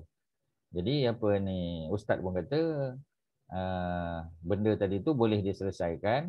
Ya, dia kata kalau saya zakat boleh tak? Zakat tak dapat pahala. Sebab harta tu dapat secara tak halal. Sedekah dapat pahala tak? Sama, tak dapat juga. So macam mana? Duit tu dah dapat. Ya. Ha, jadi duit tu kita bagi kepada fakir miskin. Fakir dan miskin saja, dua saja. Yang lain tak boleh. Ya. Ha, fakir miskin saja yang boleh. Dia ada lapan yang berhak dapat zakat ni lapan. Ya ha, ada apa kita panggil ya ada lapan lapan lapan apa ni golongan. Ya fakir miskin tu dua golongan. Fakir satu miskin satu. So kita bagi pada fakir miskin tu. Kerana fakir miskin dia boleh ya gunakan duit tu walaupun untuk makan boleh. Ya ha, tapi fakir miskin saja. Ha, kalau pelajar kita nak sponsor ke orang berhutang oh tu tak boleh. Ya ini yang fakir miskin sahaja ya jadi apabila kita bagi kepada fakir miskin, kita tak dapat pahala sebab kan dah belajar tadi, ya. Sedekah, ya. Kalau kita bagi sedekah, jika harta itu disedekahkan, maka sedekahnya tidak akan diterima. Dia tak diterima tu maknanya tak dapat pahala. Tu maksud dia. Tapi boleh tak kita bagi? Boleh. Ya, ha. fakir miskin pun ambil, dia boleh makan, dia boleh apa semua sebagainya kan, keperluan dia dengan sebab apa ni duit tu dapat ya ha, dia boleh beli dia boleh makan dia sihat. Kalau dia sakit dia boleh pergi hospital sembuh apa semua sebagainya ya. Jadi dapat tak manfaat? Dapat manfaat. Kalau Allah bagi kita pahala pun Allah bagi pahala atas kebaikan yang kita yang orang tadi dapat ya. Mudah-mudahan kita dapat. Tapi ini belum tahu tau. Ini mudah-mudahan saja. Tapi kita dapat tak pahala sedekah? Pahala sedekah tak dapat. Pasal benda yang kita dapat tu tak halal benda tak halal, zakat pun tak dapat pahala, ya. Ha, sedekah pun tak dapat pahala. Cuma kita boleh bagi je pada fakir miskin. Ya, dan dia tidak dipanggil sedekah. Ya, ha, apa nak panggil tu? Tak ada istilah. Ya, ha, jadi kita bagi je pada dia. Fakir miskin tu pun manfaatkan. Dan dia dapat manfaat, ya. Dan dia pun doakan kita, ya Allah, berilah kepada kepahala kepada orang yang memberi kepada aku. Dia pun tak tahu duit tu tak halal. Ya. Jadi dengan sebab doa dia tadi, Allah bagi pahala, mudah-mudahan dapat pahala tu kerana doa orang tadi. Bukan kerana sedekah yang kita bagi. Kak Faridah boleh faham tak? Faham Ustaz. Okey, cantik. Alhamdulillah. Ada lain silakan. Apa lagi? Ya Ustaz, tanya Ya. Ustaz.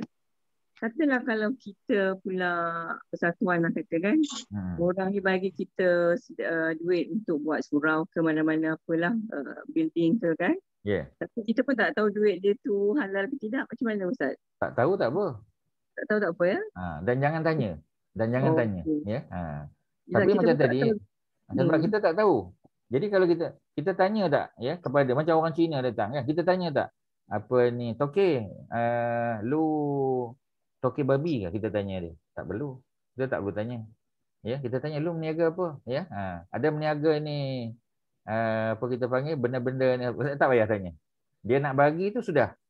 Melainkan kita nampak. Ya. Ha, jadi kita nampak dia datang tu pakai van syarikat dia. Pasal ya, kebetulan dia pergi buat delivery kat mana-mana, dia dengan staff dia, dia berhenti kat tempat kita, dekat persatuan kita. Dia pun bagi kita kita pun dia bagi cek pula. Ya. Ha, bagi cek senang. Dia bagi cek. Tengoklah nama syarikat cek, ada kat cek itu kan.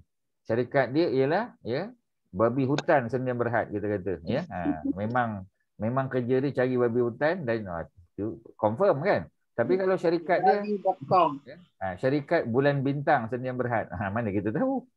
Ya, ha, melainkan memang web, website dah bagi tahu dah. Syarikat bulan bintang ni memang terlibat dengan judi, dengan arak, dengan apa tu confirm lah. Tapi kalau kita tak tahu tak payah tanya. Ya, ha, dia Kalau dividen-dividen Ustaz kadang-kadang kita pun tak tahu. Uh, even ASB dia orang kata bukan syariah compliance kan. So macam mana tu? memang susah ya sebab ASB ni memang sebab mufti dekat Malaysia sebahagian kata harus dia tak kata halal dia kata harus tuan-tuan jangan salah ya ha. sebahagian lagi ya ialah ialah apa ni haram. Dia dua je, haram dan harus. Harus tu pula ya kata apa ni Tan Sri Harusani Perak ya.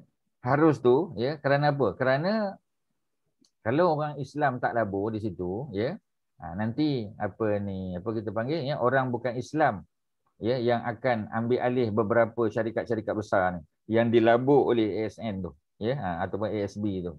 Ha, jadi oleh kerana tu atas dasar itu saja ya bukan sebab dia halal Ya, tuan-tuan kena faham. Selangor daripada dulu sampai sekarang kata tak halal. Selangor. Sampai sekarang. Daripada Mufti Ishak Bahrum. Ya, Datuk Ishak Bahrum sampai Datuk Tambiz ni sampai sekarang masih macam tu juga. Perak yang kata apa ni harus. Sarawak yang kata harus. Ya, ha, jadi macam itulah cerita dia. Jadi maknanya kalau ada tempat lain boleh bagi, letak tempat lain lah. Sebab isunya kita boleh dapat dividen. Ya, dividen tu nak kira macam mana? Payah tu tuan-tuan. Ya, ha, kecuali confirm tabung haji, tabung haji itu pastilah. Ya, sebab dia labur di tempat yang halal. Kalau dia ada tipu-tipu, itu bukan salah kita. Itu dia punya apa kita panggil ya, investment apa ni, department lah yang bertanggungjawab. Management ya? dia. Ha, management dia lah ya, top management dia lah yang bertanggungjawab. Jadi, sebab kita hanya tengok apa yang transparent aja. Yang tak transparent tu di luar pengetahuan kita. Boleh tak ambil dividen ya yang yang tidak diisytiharkan. Sebab kita tak tahu. Jawapannya boleh. Hukum dia harus. Ya? Ha, jadi kalau kalau daripada conventional bank okey senang cerita ya. Tuan-tuan ada simpan dalam conventional bank. Ya? Ha, peribadi punya simpan islamik tapi company ya kadang-kadang simpan di conventional. Dan bila simpan conventional dia dapat dividen ya? Dan dividen tu patuh syariah tak? Dah tentulah tak patuh syariah. Ya? Sebab conventional bank dia labur juga dan dia labur pada semua syarikat patuh syariah tak? Tak. Ya, hmm. sebahagian sebahagian patuh syariah, sebahagian tak. Ya, macam apa ni apa kita punya ni KWSP ya, ha, KWSP. Jadi KWSP yang confirm halal semua ialah yang yang akaun akaun patuh syariah. Ya, ha, yang akaun patuh syariah dia laburlah di tempat yang halal semua. Tapi kalau tuan-tuan masih masih duduk duit tu dalam yang tak patuh syariah dia akan labur ya. Dan ustaz dah pernah sebut ustaz ada mengajar salah seorang daripada dia punya timbalan director ke apa deputy director ya. Dia kata ustaz saya nak bagi tahu ni kerja saya dia kata ya. Ha, tak sampai 70% yang patuh syariah yang dia hmm. labur tu ya. Tak sampai 70% dia yang cakap dengan ustaz. Tapi ni, ni dia cerita ni 6 7 tahun yang lalu lah ya. Masa tu tak ada lagi akaun sekarang banyak islamic bank dah ustaz. Ha, betul lah ya. Sekarang tapi KWSP berapa persen je orang Melayu letak duit dalam KWSP yang halal? Berapa persen je? Tak ramai. Tak sampai 10 persen orang Islam kat Malaysia. Pasal keuntungan yang konvensional lagi tinggi daripada keuntungan yang Islamik. Ya? Ha, jadi orang nak nak dapat keuntungan lebih. Cakap tu serang je. Ya? Tak sampai 10 persen. Itu kajian sudah dibuat ya, oleh Dr. Zahrudin. Ya? Ha, dia bagi tahu dah tak sampai 10 persen pun. Jadi malang sekali lah. Ya? Sebab kalau kita masih simpan, ini contoh KWSP, tuan-tuan yang dah tak ada KWSP tak apalah, ya, yang ada. Ya, anak-anak kita lah maksudnya, kita kena bagi nasihat. Tukar terus automatik kepada yang tidak patuh syariah. Kalau dulu tak patuh syariah, ya, sekarang dia tukar kepada yang patuh syariah, apa hukum dia? Hukum dia wajib. Ya, dan duit yang dulu-dulu tu dia transfer halal tak? Dia jadi halal. Memang kaedah dia macam tu. Itu Quran yang sebut. Ya, ha, dulu-dulu sebab tak ada pilihan dia mandatory. KWSP itu kena bayar. Ya. Ha, tetapi bila dah ada yang Islamik, kita tukar ya, maknanya apa kita panggil ya, the whole thing itu kita tukar, transfer daripada yang tak halal transfer jadi halal. Apakah hukum yang halal sekarang ni? Hukumnya adalah halal juga. Ya, ha, selesai. Itu cerita dia. Jadi selesai. Ya. Itu ayat 275 dalam surah Al-Baqarah. Panjanglah nak kisah. Tapi secara umum, ya, duit yang tak halal dulu, ya, dan dia tak panggil dia tak panggil money laundering bukanlah. Ya, dia bersihkan duit tak halal. Itu cara cara patuh syarak untuk bersihkan duit yang tak halal. KWSP itulah ada tunjuk. Ya, ada ni dalam majlis fatwa kebangsaan yang putuskan. So, ha, so alhamdulillah lah kita kata ada cara kan untuk membersihkan. Tapi bukan semua orang Islam yang tukar. Tak sampai 10%. So kalau anak tuan-tuan yang masih bekerja, ya, nasihatkan dia. Tukar cepat-cepat. Ya, ha. Kerana berkat. Ya, ha, kerana dia berkat. Tu cerita. Tuan-tuan dulu-dulu dulu nak buat macam mana tuan-tuan? Sebab dulu tak ada alternatif. Sekarang sudah ada alternatif. Ya. Ha, jadi itulah cerita dia. Yep. Kalau kita dulu Ustaz. profesional Ya, sama. mana Ustaz gaji? Ha, susah juga nak cerita kan? Wah, Yalah. Payah juga nak cerita tu, ya. Ha, kena kena kena kena konsak konsak orang yang lebih ni lah, ya. Ha, yang lebih apa kita panggil? Yang lebih berautoriti lah, ya. Ustaz boleh bagi pandangan secara umum lah. Ya, memang memang payah juga nak sebut tu, ya. Pasal nak buat macam mana, ya. Ha, itu memang dulu kita kerja dengan konvensional nak buat macam mana. Jadi secara umum macam tadilah ya, benda yang dah lepas tu memang nak buat macam mana kan? Damage has been done. Ustaz sebut tadi. Tapi benda yang mendatang tu kita baikilah. Mana yang kita boleh baiki, kita baiki. Sebab kita bertanggungjawab di depan Allah. Itu saja. Kalau Allah tengok kita berusaha untuk membersihkan apa yang dulu kita salah buat, ya, mudah-mudahan Allah ampunkan dosa. Kena banyak istighfar lah, minta ampun pada Allah. Memang itu je cerita dia. Ya, ha. sebab kalau tidak susah kita menangis kita sepanjang masa. Ya, ha. takkanlah kita hidup nak berendam air mata je kan. Jadi mana yang kita boleh baiki kita baiki. The best that we can do. Ya, ha. itu cerita dia, ya. Okeylah ya, itu kalau ustaz boleh detailkan sikit. Kemudian di hujung tu apa? Sesungguhnya keburukan tidak boleh digunakan untuk menghapus keburukan memang. Ada ada pun kebaikan boleh digunakan untuk menghapus kekurangan atau dosa yang terdapat dalam kebajikan, betul. Ya. Ini boleh bagi contoh lah, ya. Ha. Contoh kita ada hutang pada seseorang. Ya. Ha, ni contoh dulu 13 Mei lah. Jadi bila 13 Mei berlaku, banyak orang Melayu berhutang dengan kedai Cina. Jadi Cina tu pula kena bunuh satu keluarga mati. Masa 13 Mei tu, kedai pun dah tak ada, keluarga habis semua mati. Kita ada hutang dengan dia. Katalah hutang RM300, belum bayar lagi. Ya. Patutnya kalau dia ada keluarga, kita boleh bagi kat keluarga dia. Keluarga pun mati semua. Ya, tak dapat di, di apa di trace ya keluarga yang masih berbaki tu macam mana kita nak buat. Itu bukan duit. dekat orang. Ya, ha, jadi secara umum ya bagi duit pada Baitul Mal aja lah. Kalau senang cerita ya. Ha, kalau kita tak nak susah-susah ya kita bagi pada Baitul Mal. RM300 tadi bagi pada Baitul Mal. Sebab itu bukan duit kita, itu hutang kita. Kita nak bagi pada dia dia dah mati. Ya, ha. Kalau ada adik-beradik dia lagi ya, ha, senang kita bagi pada adik-beradik dia. Okey ya, itu kalau orang bukan Islam. Kalau orang orang Islam macam mana? Ya, ha, boleh tak RM300 tu kita gunakan untuk bagi pada fakir miskin ke buat sesuatu yang baik? Pahalanya Boleh. pergi kepada orang yang telah mati tadi. Ha, yang tu boleh. Orang Islam senang. Pasal orang kafir, ya, dia tak dapat pahala. Ya, mana ada pahala orang kafir? Tapi orang Islam ada dapat pahala.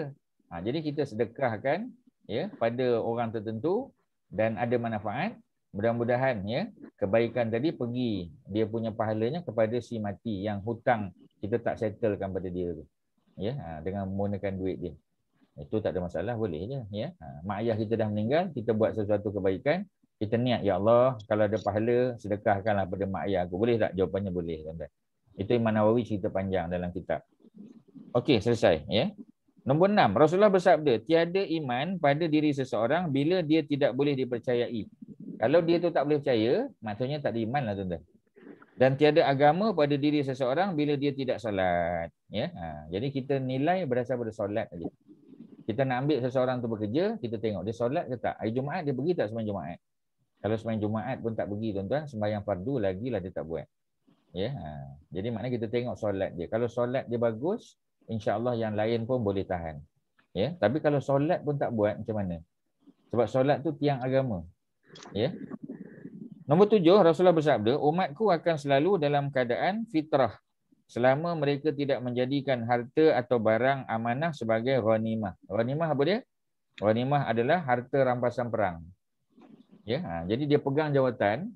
Bila dia pegang jawatan bukan sebab ya, kita kata dia pegang jawatan tu bukan sebab nak berkhidmat untuk parti ke untuk persatuan. Tapi dia pegang jawatan tu semata-mata kerana ha, dia tahu dah ya, ha, aku boleh dapat projek ni, aku boleh dapat ni. Dia anggap itu sebagai ghanimah harta rampasan perang. Oh tu tak boleh lah tuan-tuan. Tak boleh lah. Ya, ha, dia dilantik menjadi apa kita panggil ya, board of director company CEO mana-mana GLC ke apa dan tujuan dia bukan untuk khidmat, untuk mengambil peluang, mengaut keuntungan ya. Ha, tu termasuklah tuan-tuan. Ya, memang memang susah tuan-tuan, tapi itulah cabaran dia. Okey. Dan mereka tidak menganggap zakat sebagai hutang. Ha, kadang-kadang dia kata lah zakat ni nak kena keluar lagi zakat ni. Ya 2.5%. Ya, ha, dia anggap macam zakat tu macam satu benda yang berat nak macam nak kena bayar hutang pula. Seolah-olah macam tu tuan-tuan, ya. Jadi kalau macam tu tak ni lah, ya. Kalau macam tu ceritanya rugilah, ya. Ha. Okey, ya. Apa lagi? Nombor lapan, Rasulullah bersabda, sesiapa mengambil harta seseorang dan dia bertekad untuk mengembalikannya. Allah akan tolong dia. Ya? Ha, macam kita lah. Ya? Kalau kita berhutang dan memang kita bercita-cita untuk bayar hutang, Allah akan mudahkan. Tapi kalau kita berhutang dengan orang, tapi kita dalam kepala pun, alah, ya, ni tak nak bayar lah. Memang akan jadi berat, tuan-tuan. Percayalah. Sebab ya Allah akan tolong kita bila memang kita ada cita-cita untuk untuk buat benda baik. Allah akan tolong tuan-tuan. Macam mana pun Allah akan tolong. Ya, ha, usahalah macam mana pun ya. Insya-Allah Allah akan tolong kita. Sebab kita nak buat benda baik. Tapi kalau kita dalam kepala kita tak ada plan pun, ya. Sebab itu Allah susahkan kita tuan sampai ke sudah tak bayar. Ya, hutang tu kita tak bayar, ya. Ha, hutang tu bawa mati tak tuan bawa mati. Ya, ha, pisang emas yang dibawa belayar tuan-tuan. Tapi hutang dibawa mati tuan-tuan. Ya, jadi maknanya tak tak selesai kat dekat dunia ni hutang tu kita bayar dengan duit tau dengan RM tapi di akhirat hutang tadi bayar dengan apa Datuk Osman hmm ya yeah. hutang bayar dengan pahala bayar dengan pahala tuan kita pahala dah tak banyak esok di akhirat kita nak kena bayar pula orang yang kita hutang tu dengan pahala kita cuba tuan-tuan bayangkan kalau pahala habis kita ambil dosa kawan tu pula ya yeah? ha jadi macam itulah cerita dia. Melainkan orang tu halalkan. Mana ada orang nak halalkan hutang tu kan? Kalau hutang RM10 tak apa. Ya, ha, ni hutang ribu-ribu tu kan. Ya, ha, jadi oleh kerana tu dia tak halalkan. Tuan-tuan jumpalah dengan dia di akhirat besok dan tuan-tuan akan bayar dalam bentuk pahala. Pahala tuan-tuan habis. Ya, ha. Tuan-tuan biasa dengar kan? Nabi tanya, siapakah orang yang muflis di akhirat besok? Orang yang muflis. Ya. Jadi siapa dia orang muflis? Orang muflis adalah orang yang orang yang datang bertemu Allah dengan pahala yang banyak. Tetapi akhirnya pahala tu sikit demi sikit terhakis. Kerana dia ada pukul orang, dia ada mengata orang, dia ada hutang pada orang, dia ada buat macam-macam benda. Ya, ha, yang akhirnya pahala-pahala tersebut semua diserah kepada orang yang dia buat jahat tadi tuan-tuan. Itulah orang yang muflis. Ya, ha, bukan tak ada harta, ada harta. Ya, ha, tapi harta tak boleh bawa mati. Ya, ha, sedekah yang boleh bawa mati. Jadi oleh kerana itu, ya, kita kena ambil kira lah benda-benda ni. Sebab kita semua akan menghadapi mati. Bila tu tak tahu tuan-tuan. Itu semua dalam pengetahuan Allah. Ya. Jadi sesiapa mengambil harta seseorang, bertekad untuk mengembalikan, Allah akan tolong dia. Namun sesiapa yang mengambil harta seseorang dengan maksud untuk merosakkan harta tu saja je tuan-tuan, maka Allah akan merosak hartanya juga. Ya, ha, habis satu-satu harta tuan-tuan. Sebab apa? Sebab Allah ya, Allah tahu dia pun tak berniat untuk bayar hutang. Dia pun tak berniat untuk buat baik. Ya, nampak macam nak buat baik tapi tak buat baik pun. Mungkin sekadar nak tunjuk-tunjuk je tuan-tuan. Nombor sembilan, Rasulullah bersabda, empat hal apabila ada dalam diri seseorang, maka dia adalah orang munafik. Ada empat hal. Bila dalam dirinya ada salah satu, maka ya, maka bahagian daripada kemunafikan tersebut ada dalam diri. Maknanya dia ada sifat-sifat. Dia belum munafik, ada sifat-sifat. Ya, ha. yang pertama apa? Apabila diberi amanah, dia khianat. Dia pegang jawatan bendahari, ya, dia songlap duit syarikat. Dia songlap duit persatuan. Yang kedua, bila bercakap, berbohong. Berbohong bila bercakap. Ya, ha, bohong tu bukan sebab apa-apa. Sekadar nak selamatkan diri dia saja. Kemudian mungkir apabila berjanji. Kalau janji memang mungkir. Ya, ha, dia janji, ya, tak boleh percaya tuan-tuan. Dia kata nanti, ya, macam orang munafik lah. Dia kata orang Yahudi ni nanti kalau berperang dengan Muhammad, kami ni kami akan bantu. Tapi masa perang muka pun tak nampak tuan-tuan. Batang hidung tak nampak. Ya, ha, tu jadi penipuan. Jadi maknanya bila dia bercakap berbohong, bila janji mungkir.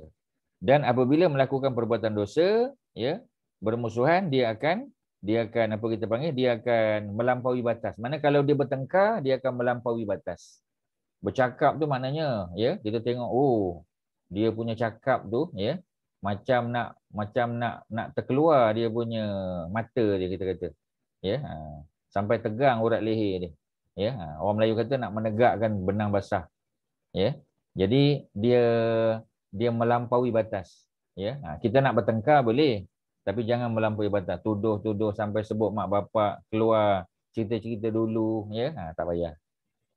Sesiapa ya barang ini disebut ya uh, luqatah ni ada cerita bawah tu ya. Ha, ni cerita luqatah ni. Ya, luqatah ni nombor 9 sudah nombor 10. Rasulullah bersabda sesiapa daging yang tumbuh daripada benda haram tidak akan masuk syurga memang. Ya, ha, jadi kalau kita beli makanan pula dengan duit yang tak halal tu macam mana tuan-tuan? Ubay bin Ka'ab. Ini salah seorang ulama ya sahabat Nabi di Madinah. Ubay bin Ka'ab ni dia pandai menulis dan membaca. Tuan-tuan kena faham, sahabat Nabi kebanyakan tak boleh baca menulis. Kebanyakan, ya. Ha, seribu, 144 ribu sahabat Nabi itu kebanyakan tak boleh membaca dan menulis. Ya. Yang boleh membaca dan menulis ni boleh dikira dengan jari, tuan-tuan. Sebab tu yang menulis wahyu Al-Quran tak sampai 10 orang. Tak sampai 10 orang yang menulis wahyu. Salah seorangnya ialah Ubay bin Ka'ab. Ya, Ubay bin Ka'ab. Dan beliau adalah salah seorang imam masa terawih zaman Saidina Umar. Ya, zaman Umar, Umar lantik dua orang imam ya, untuk jadi imam terawih di Masjid Nabawi. Ya, maka Ubay salah seorang yang dilantik menjadi imam. Dia kata, saya berjumpa ya satu kantong, satu bekas berisi wang sebanyak 100 dinar. Ya, satu dinar ni banyak tuan-tuan. Satu dinar tu seribu ringgit. Ya, ha, 100 dinar kali lah. Ya, ha, jadi 100 dinar mana 100 ribu ringgit. Ya, ha, bukan sikit-sikit tuan-tuan. Kemudian saya datang kepada Nabi bertanya kepadanya. Rasul menjawab, umumkan ke khalayak ramai selama satu tahun. Satu tahun tuan-tuan. Ya, maknanya setiap Jumaat diumumkan. Ya, siapa ada kehilangan duit, sila hubungi pegawai masjid. Ya, minggu depan announce lagi. Minggu maknanya setiap setiap minggu. Sebab Jumaat ni lah tempat orang paling ramai. Ya, ha, masa musim haji pun boleh. Ya, ha, masa musim umrah atau musim haji pun boleh isytihar juga. Manalah tahu ya ada orang yang kehilangan tadi. Saya telah mengumumkan namun tiada seorang pun yang mengaku. Setahun dia announce tak ada sesiapa yang mengaku. Kemudian saya datang kepada Rasul dan tanya kembali. Rasul menjawab umumkan ke khalayak ramai selama satu tahun lagi.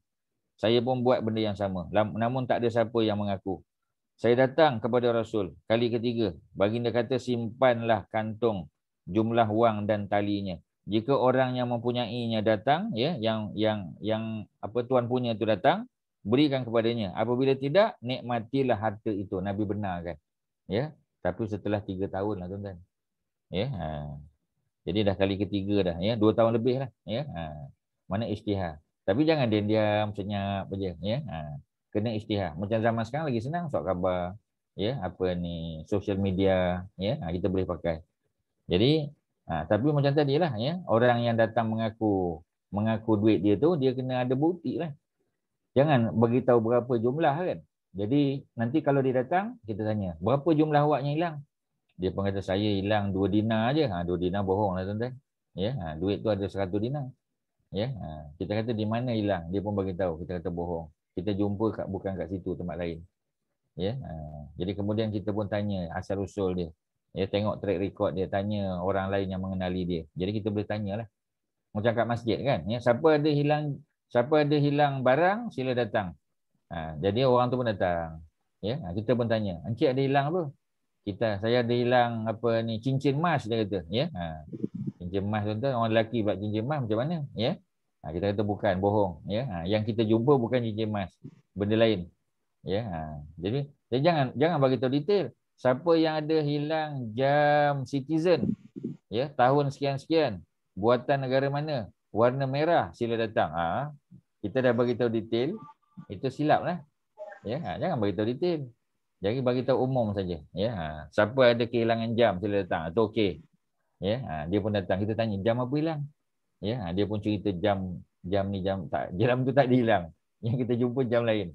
Ya ha. so macam tu cerita dia. Boleh ya? Jadi barang yang hilang ni dipanggil luqatah. Luqatah. Ya to tu luqatah.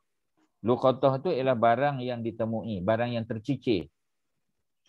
Istilah luqatah digunakan untuk menyebut barang-barang yang hilang selain daripada haiwan ya ha, kalau haiwan bukan adapun haiwan yang hilang ya kita tak panggil luqatah kita panggil dalah ya haiwan yang hilang macam contoh kita kata ada kambing hilang. Ada orang ni hilang kambing, hilang lembu, hilang unta sebagai contoh. Ya, ha, jadi itu dipanggil dalah. Tapi kalau yang hilang tu ialah harta lain, cincin, jam, ya, barang-barang yang bukan binatang, maka dia panggil luqatah. Ada dua istilah lah. Ya, satu dalah yang melibatkan binatang, satu lagi ialah yang melibatkan yang melibatkan barang-barang selain binatang ternakan. Dalam hadis ini Rasulullah memerintahkan sahabat yang bernama Ubay bin Ka'ab untuk menyimpan kantung dan tali tempat wang tadi sehingga suatu ketika ada orang yang mengaku kepunyaan dia. Boleh ditanya terlebih dahulu mengenai ciri barang yang hilang tu. Kita boleh test dia. Kita tanya, apa yang hilang? Berapa banyak? Ya. Ha, kemudian apa ni? Hal ini dilakukan supaya barang tersebut tidak diterima oleh orang yang tidak berhak. Takut dia tipu. Ya. Kemudian nombor 12, Rasulullah juga menganjurkan untuk menyimpan rahsia. Kita kena simpan rahsia. Terutamanya rahsia suami isteri. Baginda bersabda sesungguhnya orang yang darjatnya paling rendah di sisi Allah pada hari kiamat, ya, status yang paling rendah ialah seorang lelaki yang menggauli isterinya dan isterinya juga menggaulinya. Kemudian mereka buka rahsia kepada orang lain ya walaupun dia telah bercerai tuan ya ha, ada seorang lelaki ni dia kahwin dengan seorang perempuan ya kahwin antara dasar cinta lah. Ya ha. kemudian bila bercerai lelaki tadi cerita keburukan isteri dia. Isteri dia pula cerita keburukan suami ya ha, dua-dua kedudukannya di sisi Allah besok di tempat yang paling rendah.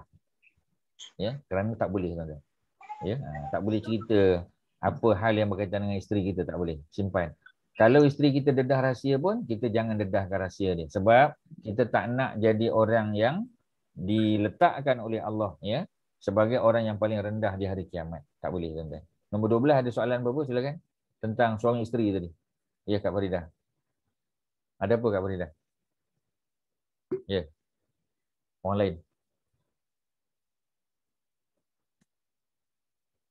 Tak ada ya. Jadi kalau tak ada nombor 13 Rasulullah bersabda, saya tinggal di rumah keluarga. Ya. Saya melihat ada kurma yang jatuh dari tempat tidur. Kemudian saya ambil dan saya hendak memakannya.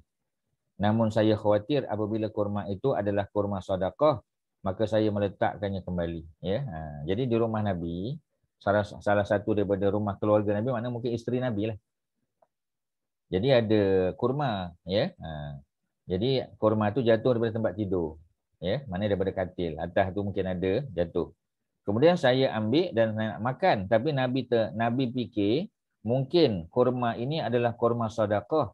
Nabi dan keluarga baginda tak boleh makan sedekah. Tak boleh makan zakat tak boleh. Ya jadi kalau tuan-tuan keluarga Said Sharifah dan sebagainya yang memang susu galuh daripada nabi kalau tuan-tuan fakir miskin pun tuan-tuan tak boleh ambil sedekah.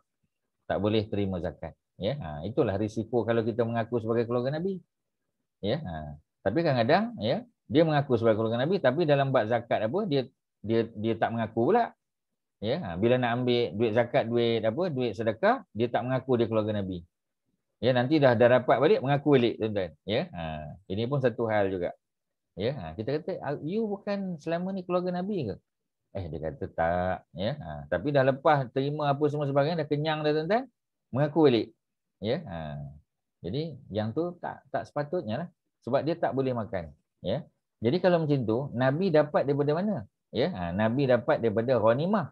Kalau dulu ghanimah ghanimah ni harta perang. Berapa persen nabi boleh dapat daripada perang Datuk Osman? 1 per 5 ha. berapa persen tu? 1 per 5 20 20 persen 20 persen ya. Ha. 20 ya. Ha. 20 persen ya jadi 20% Nabi boleh dapat. Tapi Nabi tak ambil semua. Nabi ambil tapi Nabi bukan guna untuk keluarga. Nabi sedekah balik. Nabi ambil sikit je tuan-tuan.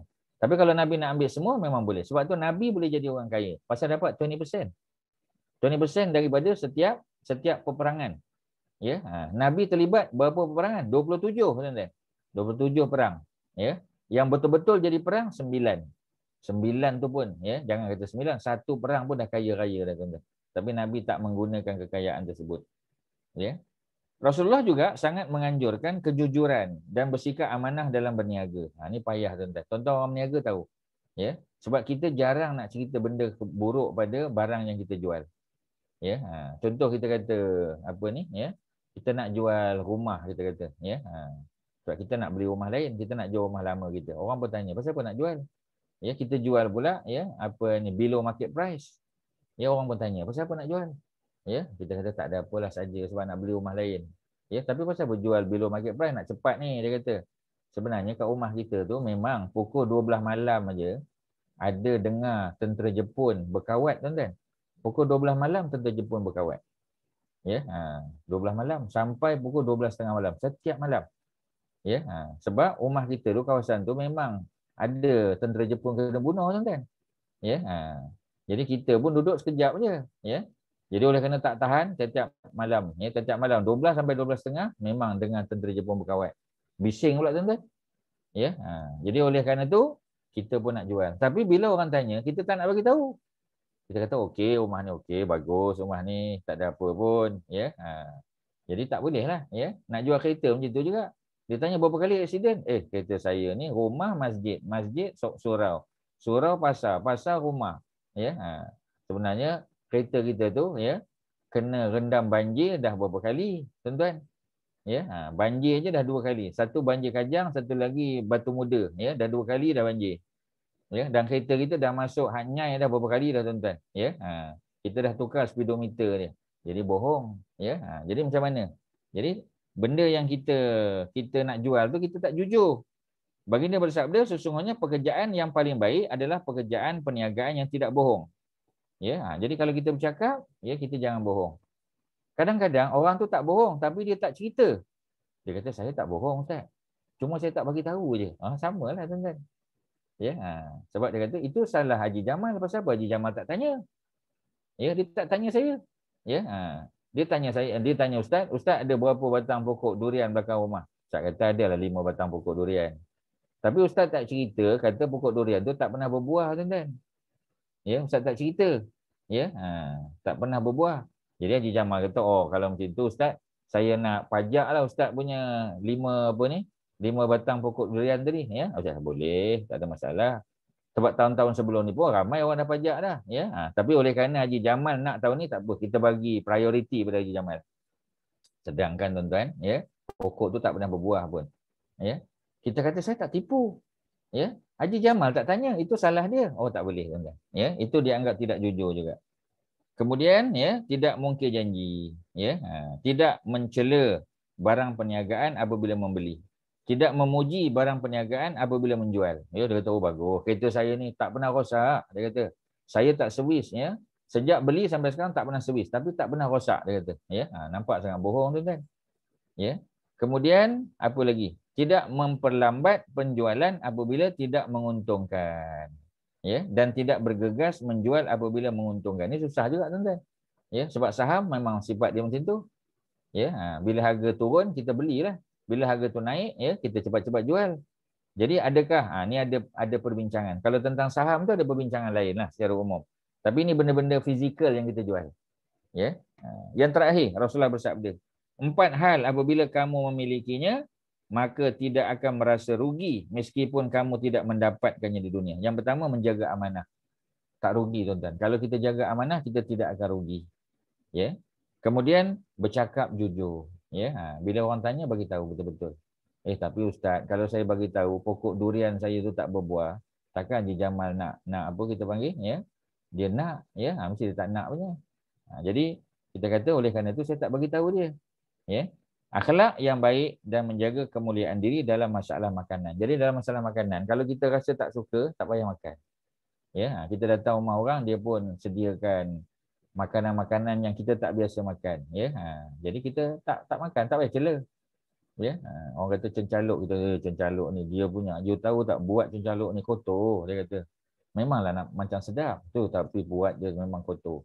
Ya, kita pun menyebabkan orang lain pun dan meloya nak makan ya. Ha. kalau kita tak nak sudah. Ya ha. tak payah nak cakap apa ni apa nak apa kita panggil menghina makanan. Sebab nabi bila tak suka satu makanan nabi tak makan. Dan nabi tidak mencela nabi diam. Ya itu kaedah dia. Okey tuan-tuan ada apa-apa soalan? Silakan. Haji Masyah ada apa? Ada banyak kita bincang ni tuan-tuan. Ya ada berapa poin ni? Ada banyak poin. Jadi ada satu, dua, tiga, ya. Ada semua ada lima belas poin. Daripada muka surat 275 tadi. 15 poin tuan-tuan. Ada banyak. Ya, silakan. Apa? Ustaz, nak, nak tanya nombor 9. Ya. Uh, mungkin apabila berjanji. Mm-hmm. Sekarang kan orang tak punctual. Katalah surat tangguh tiga datang two hours later. Adakah itu masuk dalam kategori mungkir ni? Atau Itulah, just ya. Kalau dia consistently kan, ha, taklah mungkin lah 5 minit, 10 minit mungkin lah kan. Kita kita boleh tolerate lah ya. Tapi kalau dah sampai 2 jam tu melampau kita kata. Ya, ha, melainkan selalu dia on time. Tapi sekali-sekali ada sebab lah ya. Mungkin satu jam lambat ke apa ya. Ha, tu mungkin ada sebab-sebab tertentu. Tapi kalau dah memang kita dah boleh agak dah ya. Ha, dia ni mesti satu jam setengah, dua jam lambat. Oh kalau macam tu tak boleh lah. Takut bimbang masuk dalam kategori kategori. Ada ciri-ciri munafik. Dia belum munafik lagi. Sebab munafik kalau berkumpul empat ya bila dia bercakap bohong bila dia diberi amanah mungkir apa ni khianat bila dia berjanji dia mungkir dan bila dia bergaduh bila dia bertengkar dia melampaui batas. Kalau ada empat-empat sifat ni munafik dia. Tapi kalau ada salah satu ataupun dua daripada sifat tu dia baru berciri-ciri. Ada ciri-ciri. Tapi belum munafik lagi. Ya ha, tapi macam tadilah ya bimbang takut ya dia masuk kategori munafik itulah ya yang kita bimbangkan ada lain silakan Tuan-tuan, Ustaz ada apa? Ya. uh, kalau orang bekerja kan, Hmm. tiap tiap hari atau dalam satu minggu tu at least 3 4 kali lambat. Itu salah satu sifat munafik ke? Ha, susah juga tu ya. Apa cakap. Tapi macam tadilah Tapi ya. Kita tahu okey 8.45 you kena masuk. Tapi dia takkan masuk 8.45. Setiap hari ke? Kadang 3 4 kali seminggu ustaz. Oh, tiga empat kali seminggu tu dah dah jadi Saya macam kat Itu saya rasa kepala. itu norm tu. ciri-ciri munafik. Ya, ha, itu dah normal dah dah jadi norm tu ya. Ha, jadi mana kalau dah tiga kali tiga empat kali sebulan tu cerita lain lagi lah kan. Ni tiga empat kali seminggu Sampai orang tu. kata warning letter macam-macam letter dah keluar. Tapi dia tak peduli juga. Hmm, macam macam tu lepas tu berbohong lah because dia orang kena bagi excuse kan. Ha, betul lah. Lepas tu dia dia ganti tak balik. Yang dia lambat datang tu dia ganti tak? Tak.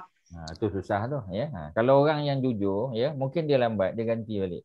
Ya, patutnya dia datang 8.30 ya. Ha, mana 8.45. 15 minit tu dia ganti, bukan 15 minit. Ya, dia Hmm. lajak lagi sampai setengah jam sebab dia takut bimbang gaji yang dia dapat tu tak berkat kan. Ya, kalau macam tu nampak kesungguhan dia. Ya, ha, tapi kalau uh, datang lambat ya, tapi habis on time ya. Belum belum 4.30 ya, 4.25 dia dah ter, ter apa? Dia dah ter, tercegat dekat tempat apa ni apa kita panggil punch card tu ya ha, kalau itu melampau kita kata ya okey ada lain silakan ada apa lagi Ustaz, um, saya nak tanya pasal hutang tadi. ha Satu, okey dua senario lah. Satu senario kita hutang dengan bank ke apa-apa corporation. hmm. Tapi kita bayar, tapi belum habis bayar kita macam meninggal ke sakit tak mampu bayar. Hmm. Satu lagi kes, katalah kita jadi guarantor, Hmm. pemba, uh, pe, peminjam tak bayar, lepas tu guarantor kan kena bayar. Lepas tu kita bayar halfway ke kita macam same senario sakit ke meninggal. So macam mana rasa pendapat Ustaz? Yalah kalau sakit meninggal tu kan luar upaya lah. Itu beyond control. Ya, tapi kita kan dah usaha untuk bayar kan. Ha, cuma macam tadi lah. Disebabkan kita meninggal, kita tak boleh bayar. Tu bukan tanggungjawab kita lah. Sebab kita dah meninggal.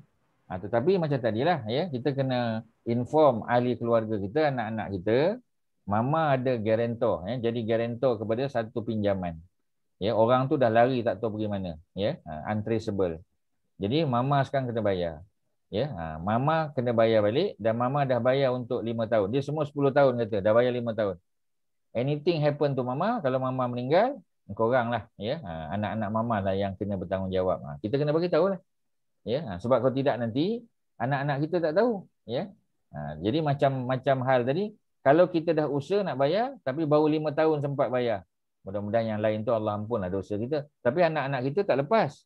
Anak kita lah pula kena bayar untuk pihak kita. Macam kita tinggal puasa kan, ya. Ha, Ustaz bagi cerita fiqah senang. Kita tinggal puasa. Jadi bila kita tinggal puasa, kita pun kodok juga. Tapi oleh kerana kita tinggal puasa tu banyak sangat, bila by the time kita nak meninggal, masih ada baki lagi. Kita kena bagi tahu tak pada close family kita, kena bagi tahu. Ya, ha, dan kita kena cakap, mama ada tinggal puasa dalam 30 hari kita kata sebulan. Ya, ha, jadi korang tolonglah ganti untuk mama. Kena ganti tak? Jawapannya kena ganti. Mak bapak kita ya tak sempat pergi haji, pergi umrah. Anak-anak lah kena kena tolong buat untuk mak bapak kita. Ya, ha, samalah konsep dia. Ya. Jadi orang yang telah meninggal dia takkan dipersoal lah sebab dia dah usaha. Tapi kalau masa dia hidup pun dia tak berusaha, bimbang takut dia termasuk dalam kategori tadi lah. Ya, ha. dia kena tunjuk dia berusaha. Ya, ha. selama, selama mana dia boleh. The best that he can do. Macam tu lah. Ya, cerita dia. Jadi kalau sakit, ya, kalau mati, itu kan beyond control. Macam mana kita nak buat? Dah mati, ya, dah sakit. Tapi selagi kita mampu, kita bayar. Kita usahakan juga. Ya, itu kalau ustaz boleh respon. Ada lain apa Haji Mat Syah tadi? Ustaz, Ya. Yeah. uh, ni hadis nombor tiga Hmm. yang mengatakan janji kepada Allah lebih utama untuk dilaksanakan. Ya. Yeah. Eh, contoh ketika uh, simpulan A lah berhutang dengan simpulan B. Hmm.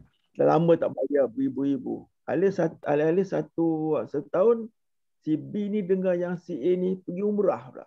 Hmm. Ada duit pergi umrah. Ada, Ada pula duitnya. Hmm. Macam mana Ustaz? Ya memang betul lah. Ya, maknanya dia ada duit. Maknanya dia mengelak lah untuk bayar. Ya, kita tengok umrah tiap tahun pergi tapi kata tak ada duit. Ya, ha, jadi maknanya perbuatan dia tu sudah menafikan ya keinginan dia untuk bayar. Maknanya dia memang purposely tak nak bayar. Saja je. Ya kita tanya, bila kita tanya je dia akan kata sebenarnya buat masa ni saya ada masalah, nantilah dulu. Saya bukan tak nak bayar. Ya, ha, tapi buat masa ni saya sesak sikit. Ya, ha. seminggu lepas dia cakap tu, eh pergi umrah pula. Dia tunjuk pula gambar dia dekat Instagram dia, dekat Facebook dia. Ya, ha. Hai, ya, ha. I, I dekat Mekah lah ni, ya. Ha. You all bila nak datang? Ya, ha. dia boleh dia boleh dia boleh main-main macam tu pula. Ya. Ha. Kita bagi bawah kat bawah tu. Ha. Hai hai juga, ya. Hutang aku bila kau nak bayar, ya. Ha. Kena kena kena sindir dia juga, ya. Ha. Sebab dia buat tak tahu je. Ya, kita kata duit nampak banyak. Ya, ha. pergi sana pergi sini boleh, tapi hutang tak boleh bayar. Hutang bukan banyak sangat pun. 2 3 ribu je kan. Settle kan lah sepatutnya lah kan. Ha. jadi macam tadi lah ya. Ramai orang macam tu. Ya. Ha. Hmm, saya ada experience tu Ustaz. Ada experience ya. Macam mana? 30 Boleh- tahun. boleh- 30 Dah tahun tak 30 bayar. tahun dah. Hmm. Tak bayar lagi sampai sekarang. Tak. Jumlah be- besar ke sederhana? Masa tu tak tahu kata nak besar. Masa tu 30 tahun dulu kalau 5000 besar ke kecil Ustaz? Oh, dulu 30 Besar tahun dulu juga. besar lah, besar lah. Ya. Hmm. Tapi saya sekarang? diamkan je lah. Saya buat tak tahu je. Dia, dia, saya dah I cuba minta tapi dia buat tak tahu je. Hmm. Biarkanlah. Sudahlah. Yalah. Hmm. Tapi kalau tadi kalau macam tadi lah susah memang susah ya sebab benda tu dia carry forward ya. Dia akan carry forward tu ni ke carry forward ke masyarakat besok. Itu yang payah tu. Sebab tak settle kan. Ya, melainkan kita halal lah. Kalau halal settle lah. Tapi susah nak halal. Ya, kalau RM5, RM10 boleh halal lah. Ya, RM5,000, RM5,000 dulu. Kalau nak kira, kalau sekarang ni, ya after 30 years, dia kena kira semasa tu. Yalah. Ha, kena Kalau kira lima semasa. ribu pun dah banyak. Ini kalau orang hutang berpuluh ribu. Betul? Ya, Yang, betul. yang bagi hutang pun, eh, yang bagi duit pun dah mati. Yang, Ha, yang ambil tu pun dah mati. Dah mati sama-sama juga, ya. kat Ha. sana lah. Uh, masalahnya Ustaz, dia tak ada Ya. cuba nak jumpa saya. Nak cerita apa masalah pun dia cuba. Bila saya call, tukar phone, tukar ini, tukar itu. Macam nak melarikan diri. Ya. Betul lah tu. Uh, saya diam je lah. Saya malah dah. Tapi ada lagi jumpa-jumpa dia, ada jumpa. Tak pernah jumpa dah lepas tu. Sejak berapa tahun dah tak jumpa? Oh lah dekat 20 tahun tak jumpa. Dah 25 tahun. Itu maknanya memang purposely dia nak lari lah tu. Hmm. Tapi macam tadi, ya kita dah baca tadi, ya. Seseorang ni kalau memang dia plan nak bayar, ya, memang Allah akan tolong dia. Itu poin nombor nombor 8. Kalau dia ada hutang, dia memang dia memang ada plan nak bayar, Allah akan mudahkan. Tapi kalau dia minjam duit, dia memang tak ada plan. Memang dia dah jadi dia punya perangai lah. Dia ni orang dah kenal lah. Dia ni kalau pinjam, memang sampai bila pun tak bayar. Ya, ha. Jadi memang Allah akan susahkan. Sebab dia pun tak ada niat untuk bayar. Ya, macam mana Allah nak tolong? Pasal kita ni ya berdasar kepada niat kita. Kalau niat kita baik, Allah akan bantu. Macam mana pun Allah akan bantu. Memang dia susah lah sikit tapi akhirnya sikit-sikit selesai juga. Ya, tapi kalau dah daripada peringkat awal pun dia memang nak membohong, nak menipu, macam tadilah ya. Haji Mat Syah sebut tadi, tengok-tengok eh dah dah ada umrah kat umrah pula. Ya. Ha. Tengok kejap lagi dah ada dekat tempat lain pula. Ya, pergi melancong, pergi apa boleh pula. Hutang tak boleh bayar. Kadang-kadang kita pun tak faham orang macam ni. Ya, ada orang mentaliti macam tu. Yang mudah-mudahan Allah bagi hidayah pada dia lah. Itu je lah. Nak buat macam mana. Ya. Ha. Ya, ada lain. Apa? Ada apa Kak Faridah? Ustaz, uh, janji kepada Allah lebih utama tadi macam mana Ustaz? Solat ke macam mana? Ha, macam tadilah ya. Ha, ni cerita dalam Bulughul Maram, seorang perempuan dia datang jumpa Nabi. Dia kata ya Rasulullah, ayah aku dulu, ayah aku masa dia hidup, masa dia sehat, dia tak ada kemampuan untuk pergi haji, mana duit tak ada. Tapi apabila dah sampai satu umur, duit dah ada, dia sakit pula. Ya, ha, dulu maknanya kalau dibawa naik atas unta pun dia tak mampu sebab jarak daripada tempat dia sampai ke Mekah tu jauh. Ha, jadi anak dia pun tanya, ya, ha, dia kata macam mana ya Rasulullah? Saya kena ganti ke buat haji untuk bapak dia ke? Ya, bapak dia. Jadi Nabi kata, ya, bagaimana kalau bapak kamu berhutang? Nabi bagi perumpamaan. Nabi kata kalau bapak awak berhutang, macam mana awak buat? Oh, saya kena bayarlah. Ha, dia kata hutang dengan Allah lebih-lebih lagi. Maksudnya haji tadi lagilah dia kena buat untuk pihak bapak dia. Sama ada dia buat sendiri ataupun dia upahkan orang lain untuk badal haji kita panggil. Ya, ha, jadi hadis dalam kitab Bulughul Maram tu menjadi dalil bahawasanya uh, hutang dengan Allah lebih patut dibayar. Hutang dengan manusia pun kena bayar, hutang dengan Allah lebih-lebih lagi. Jadi contoh yang Nabi bagi tadi ialah haji. Tapi boleh kiaslah kepada benda lain, puasa sama. Ustaz dah sebut tadi kan, mak dia nak meninggal, ya, mak dia bagi tahu pada anak-anak dia, mak ada tinggal puasa 30 hari. Anak mak ada 6 orang, ya. Ha, tolonglah ganti seorang 5 hari. 5 hari, 5 hari, 5 hari. Boleh tak? Jawapannya boleh. Ya, ha, sebab apa ni hutang puasa mesti dibayar. Ya.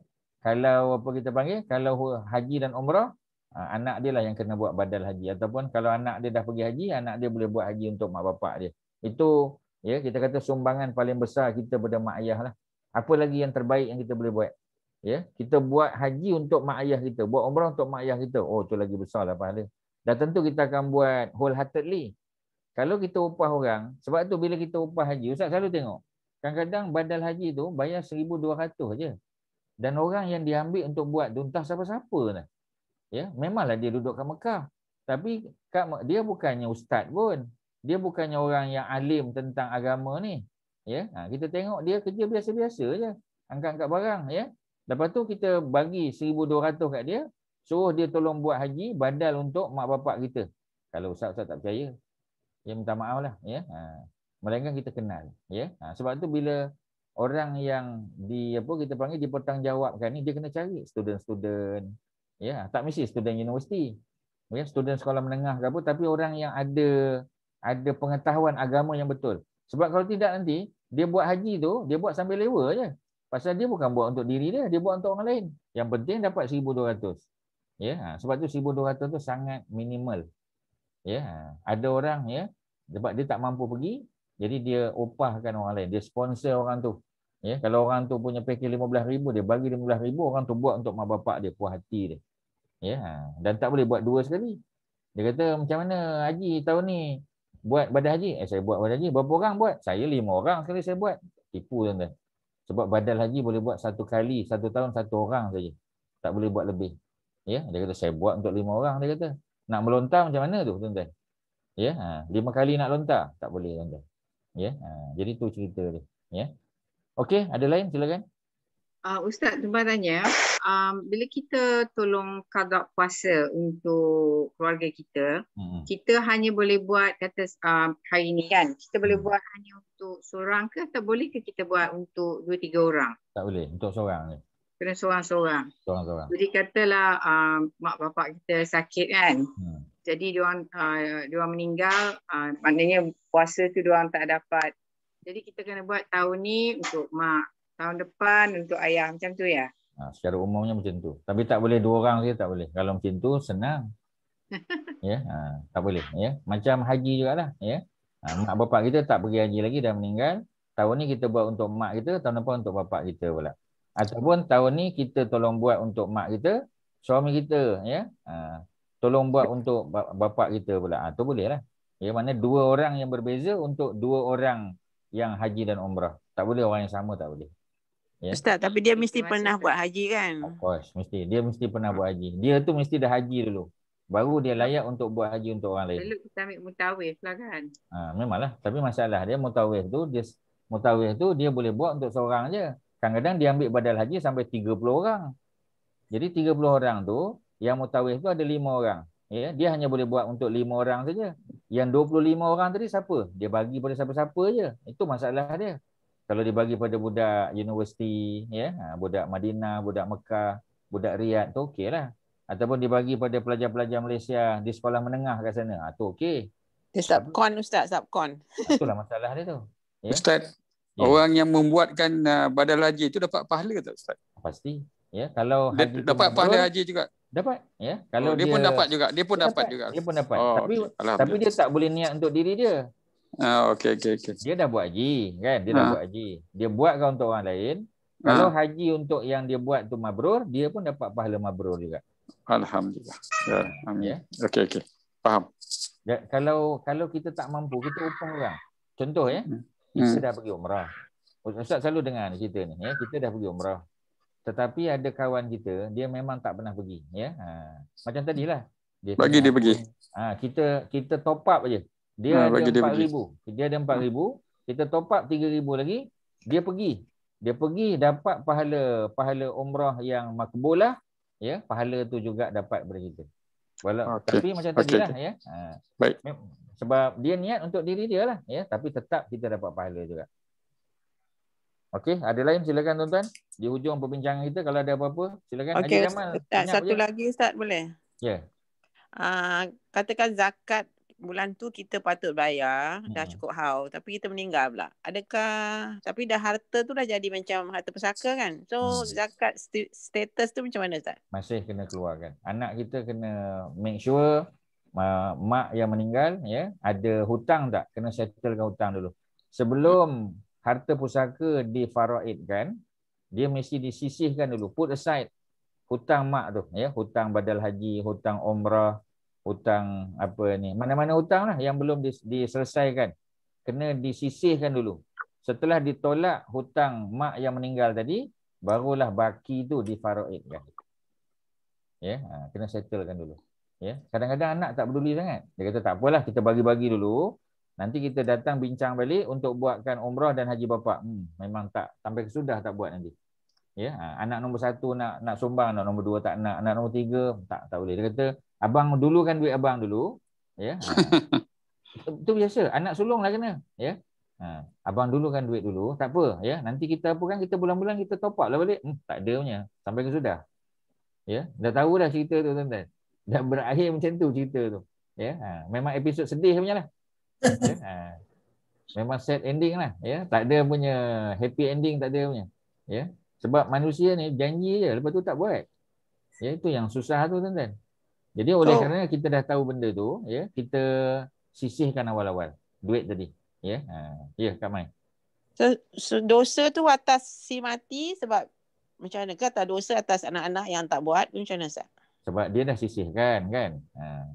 Dia dah Kalau kata kalau tak ada tak, tak sisih macam, Ustaz cakap dia tak kisah dia tak nak bayar lah cepat-cepat harta tu dia, takut, takut takut dia pun berdosa lah sebab dia dia macam tadi lah ya Allah akan bantu orang yang memang plan dia baik ya. Ha, dia dah berniat baik untuk keluar zakat. Cuma by the time dia nak keluar zakat meninggal. Sebab tu apa-apa hal pun kita kena bagi tahu kepada orang yang terdekat dengan kita. Ya.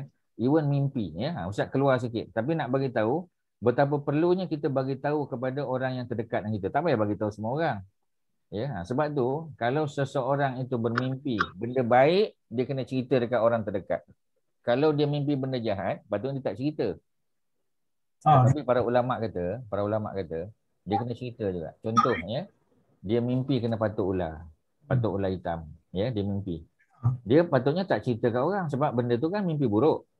Tapi dia kena bagi tahu juga pada suami dia sebagai satu bentuk precaution kerana biasanya ular hitam dalam mimpi ni ya maknanya ada orang nak sihir dia ada orang nak buat jahat dekat dia ya ada orang nak bomoh dia jadi oleh kerana tu bila dia beritahu pada suami dia dia boleh take apa ni precaution lah tapi kalau dia diam-diam senyap-senyap dia pula tak ada knowledge tentang benda ni ya ha, bimbang takut tiba-tiba ya dia kena sihir dan sebagainya suami pun tak tahu cerita sebab itu ha, mimpi baik kena cerita kat orang tapi bukan semua orang ya orang tertentu sajalah tapi kalau mimpi buruk, mimpi buruk patutnya kita diam.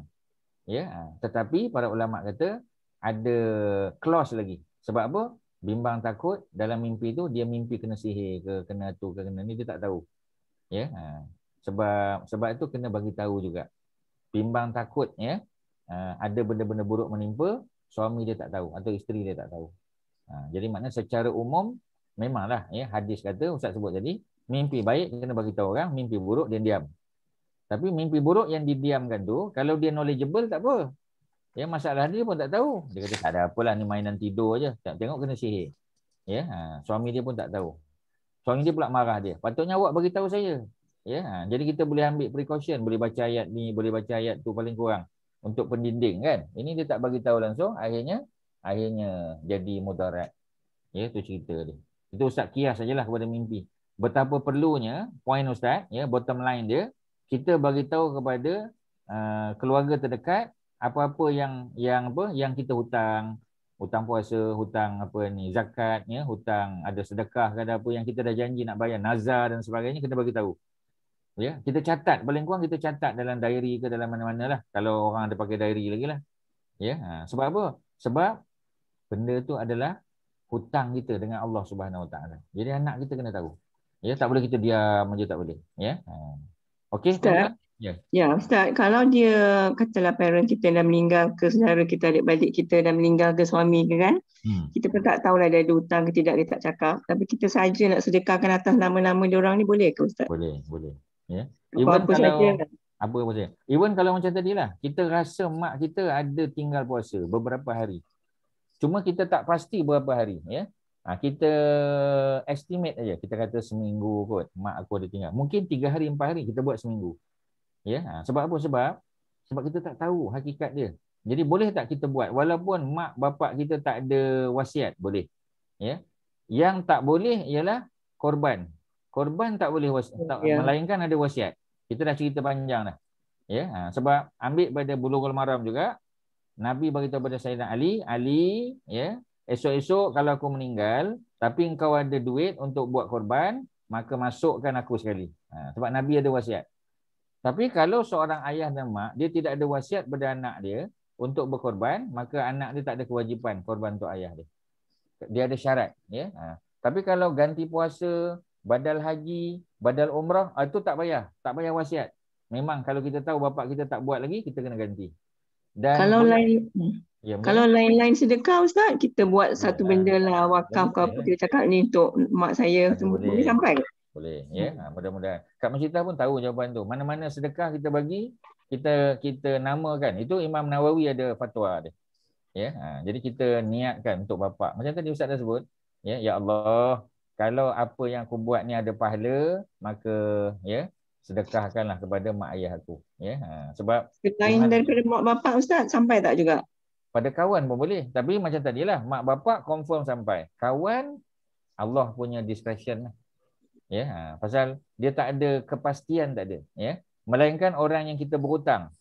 Orang tu berhutang ya, ya kita berhutang dengan dia kita tak bayar lagi. Tapi kita sedekah kemudian kita niat untuk orang yang berhutang. Itu ada ada hubungan. Tapi kalau orang yang tak ada hubungan apa-apa kita dengan kawan-kawan saja boleh tak ya? Ha, kita selalu baca suratul kahfi dengan dia malam Jumaat. Bila dia dah meninggal kita baca juga suratul kahfi.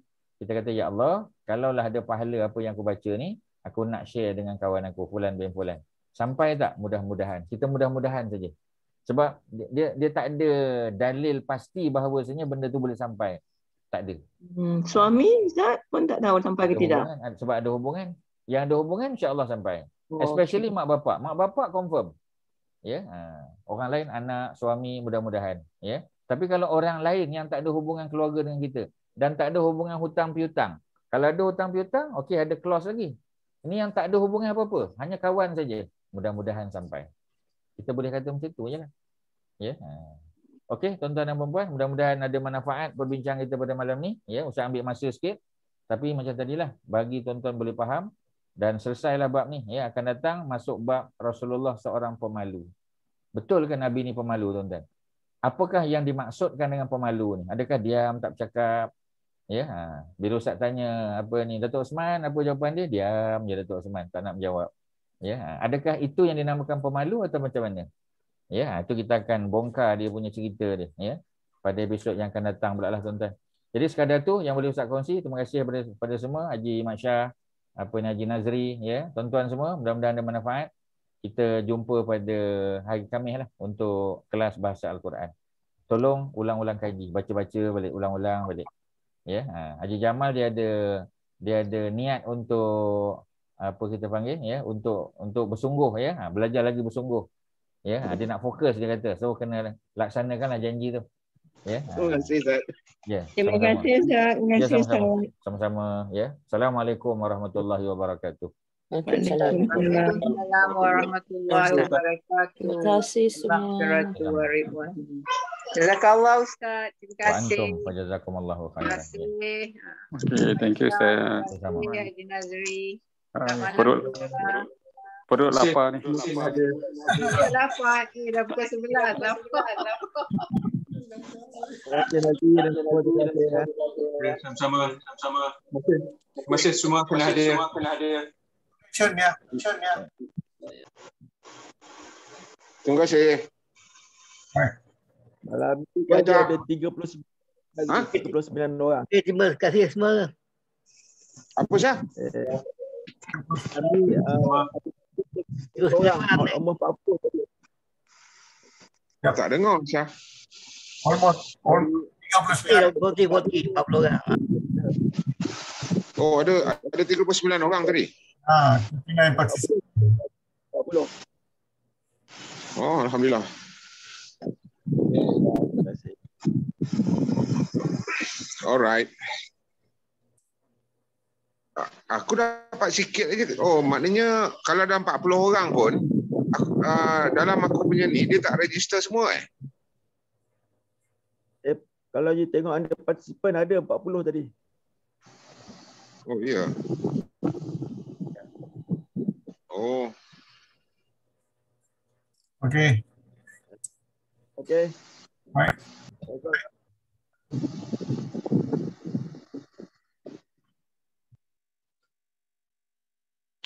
Okey Nazri. Assalamualaikum. Terima kasih. Assalamualaikum. Sama-sama. Syah, bye. Sama-sama. Terima kasih kena hadir.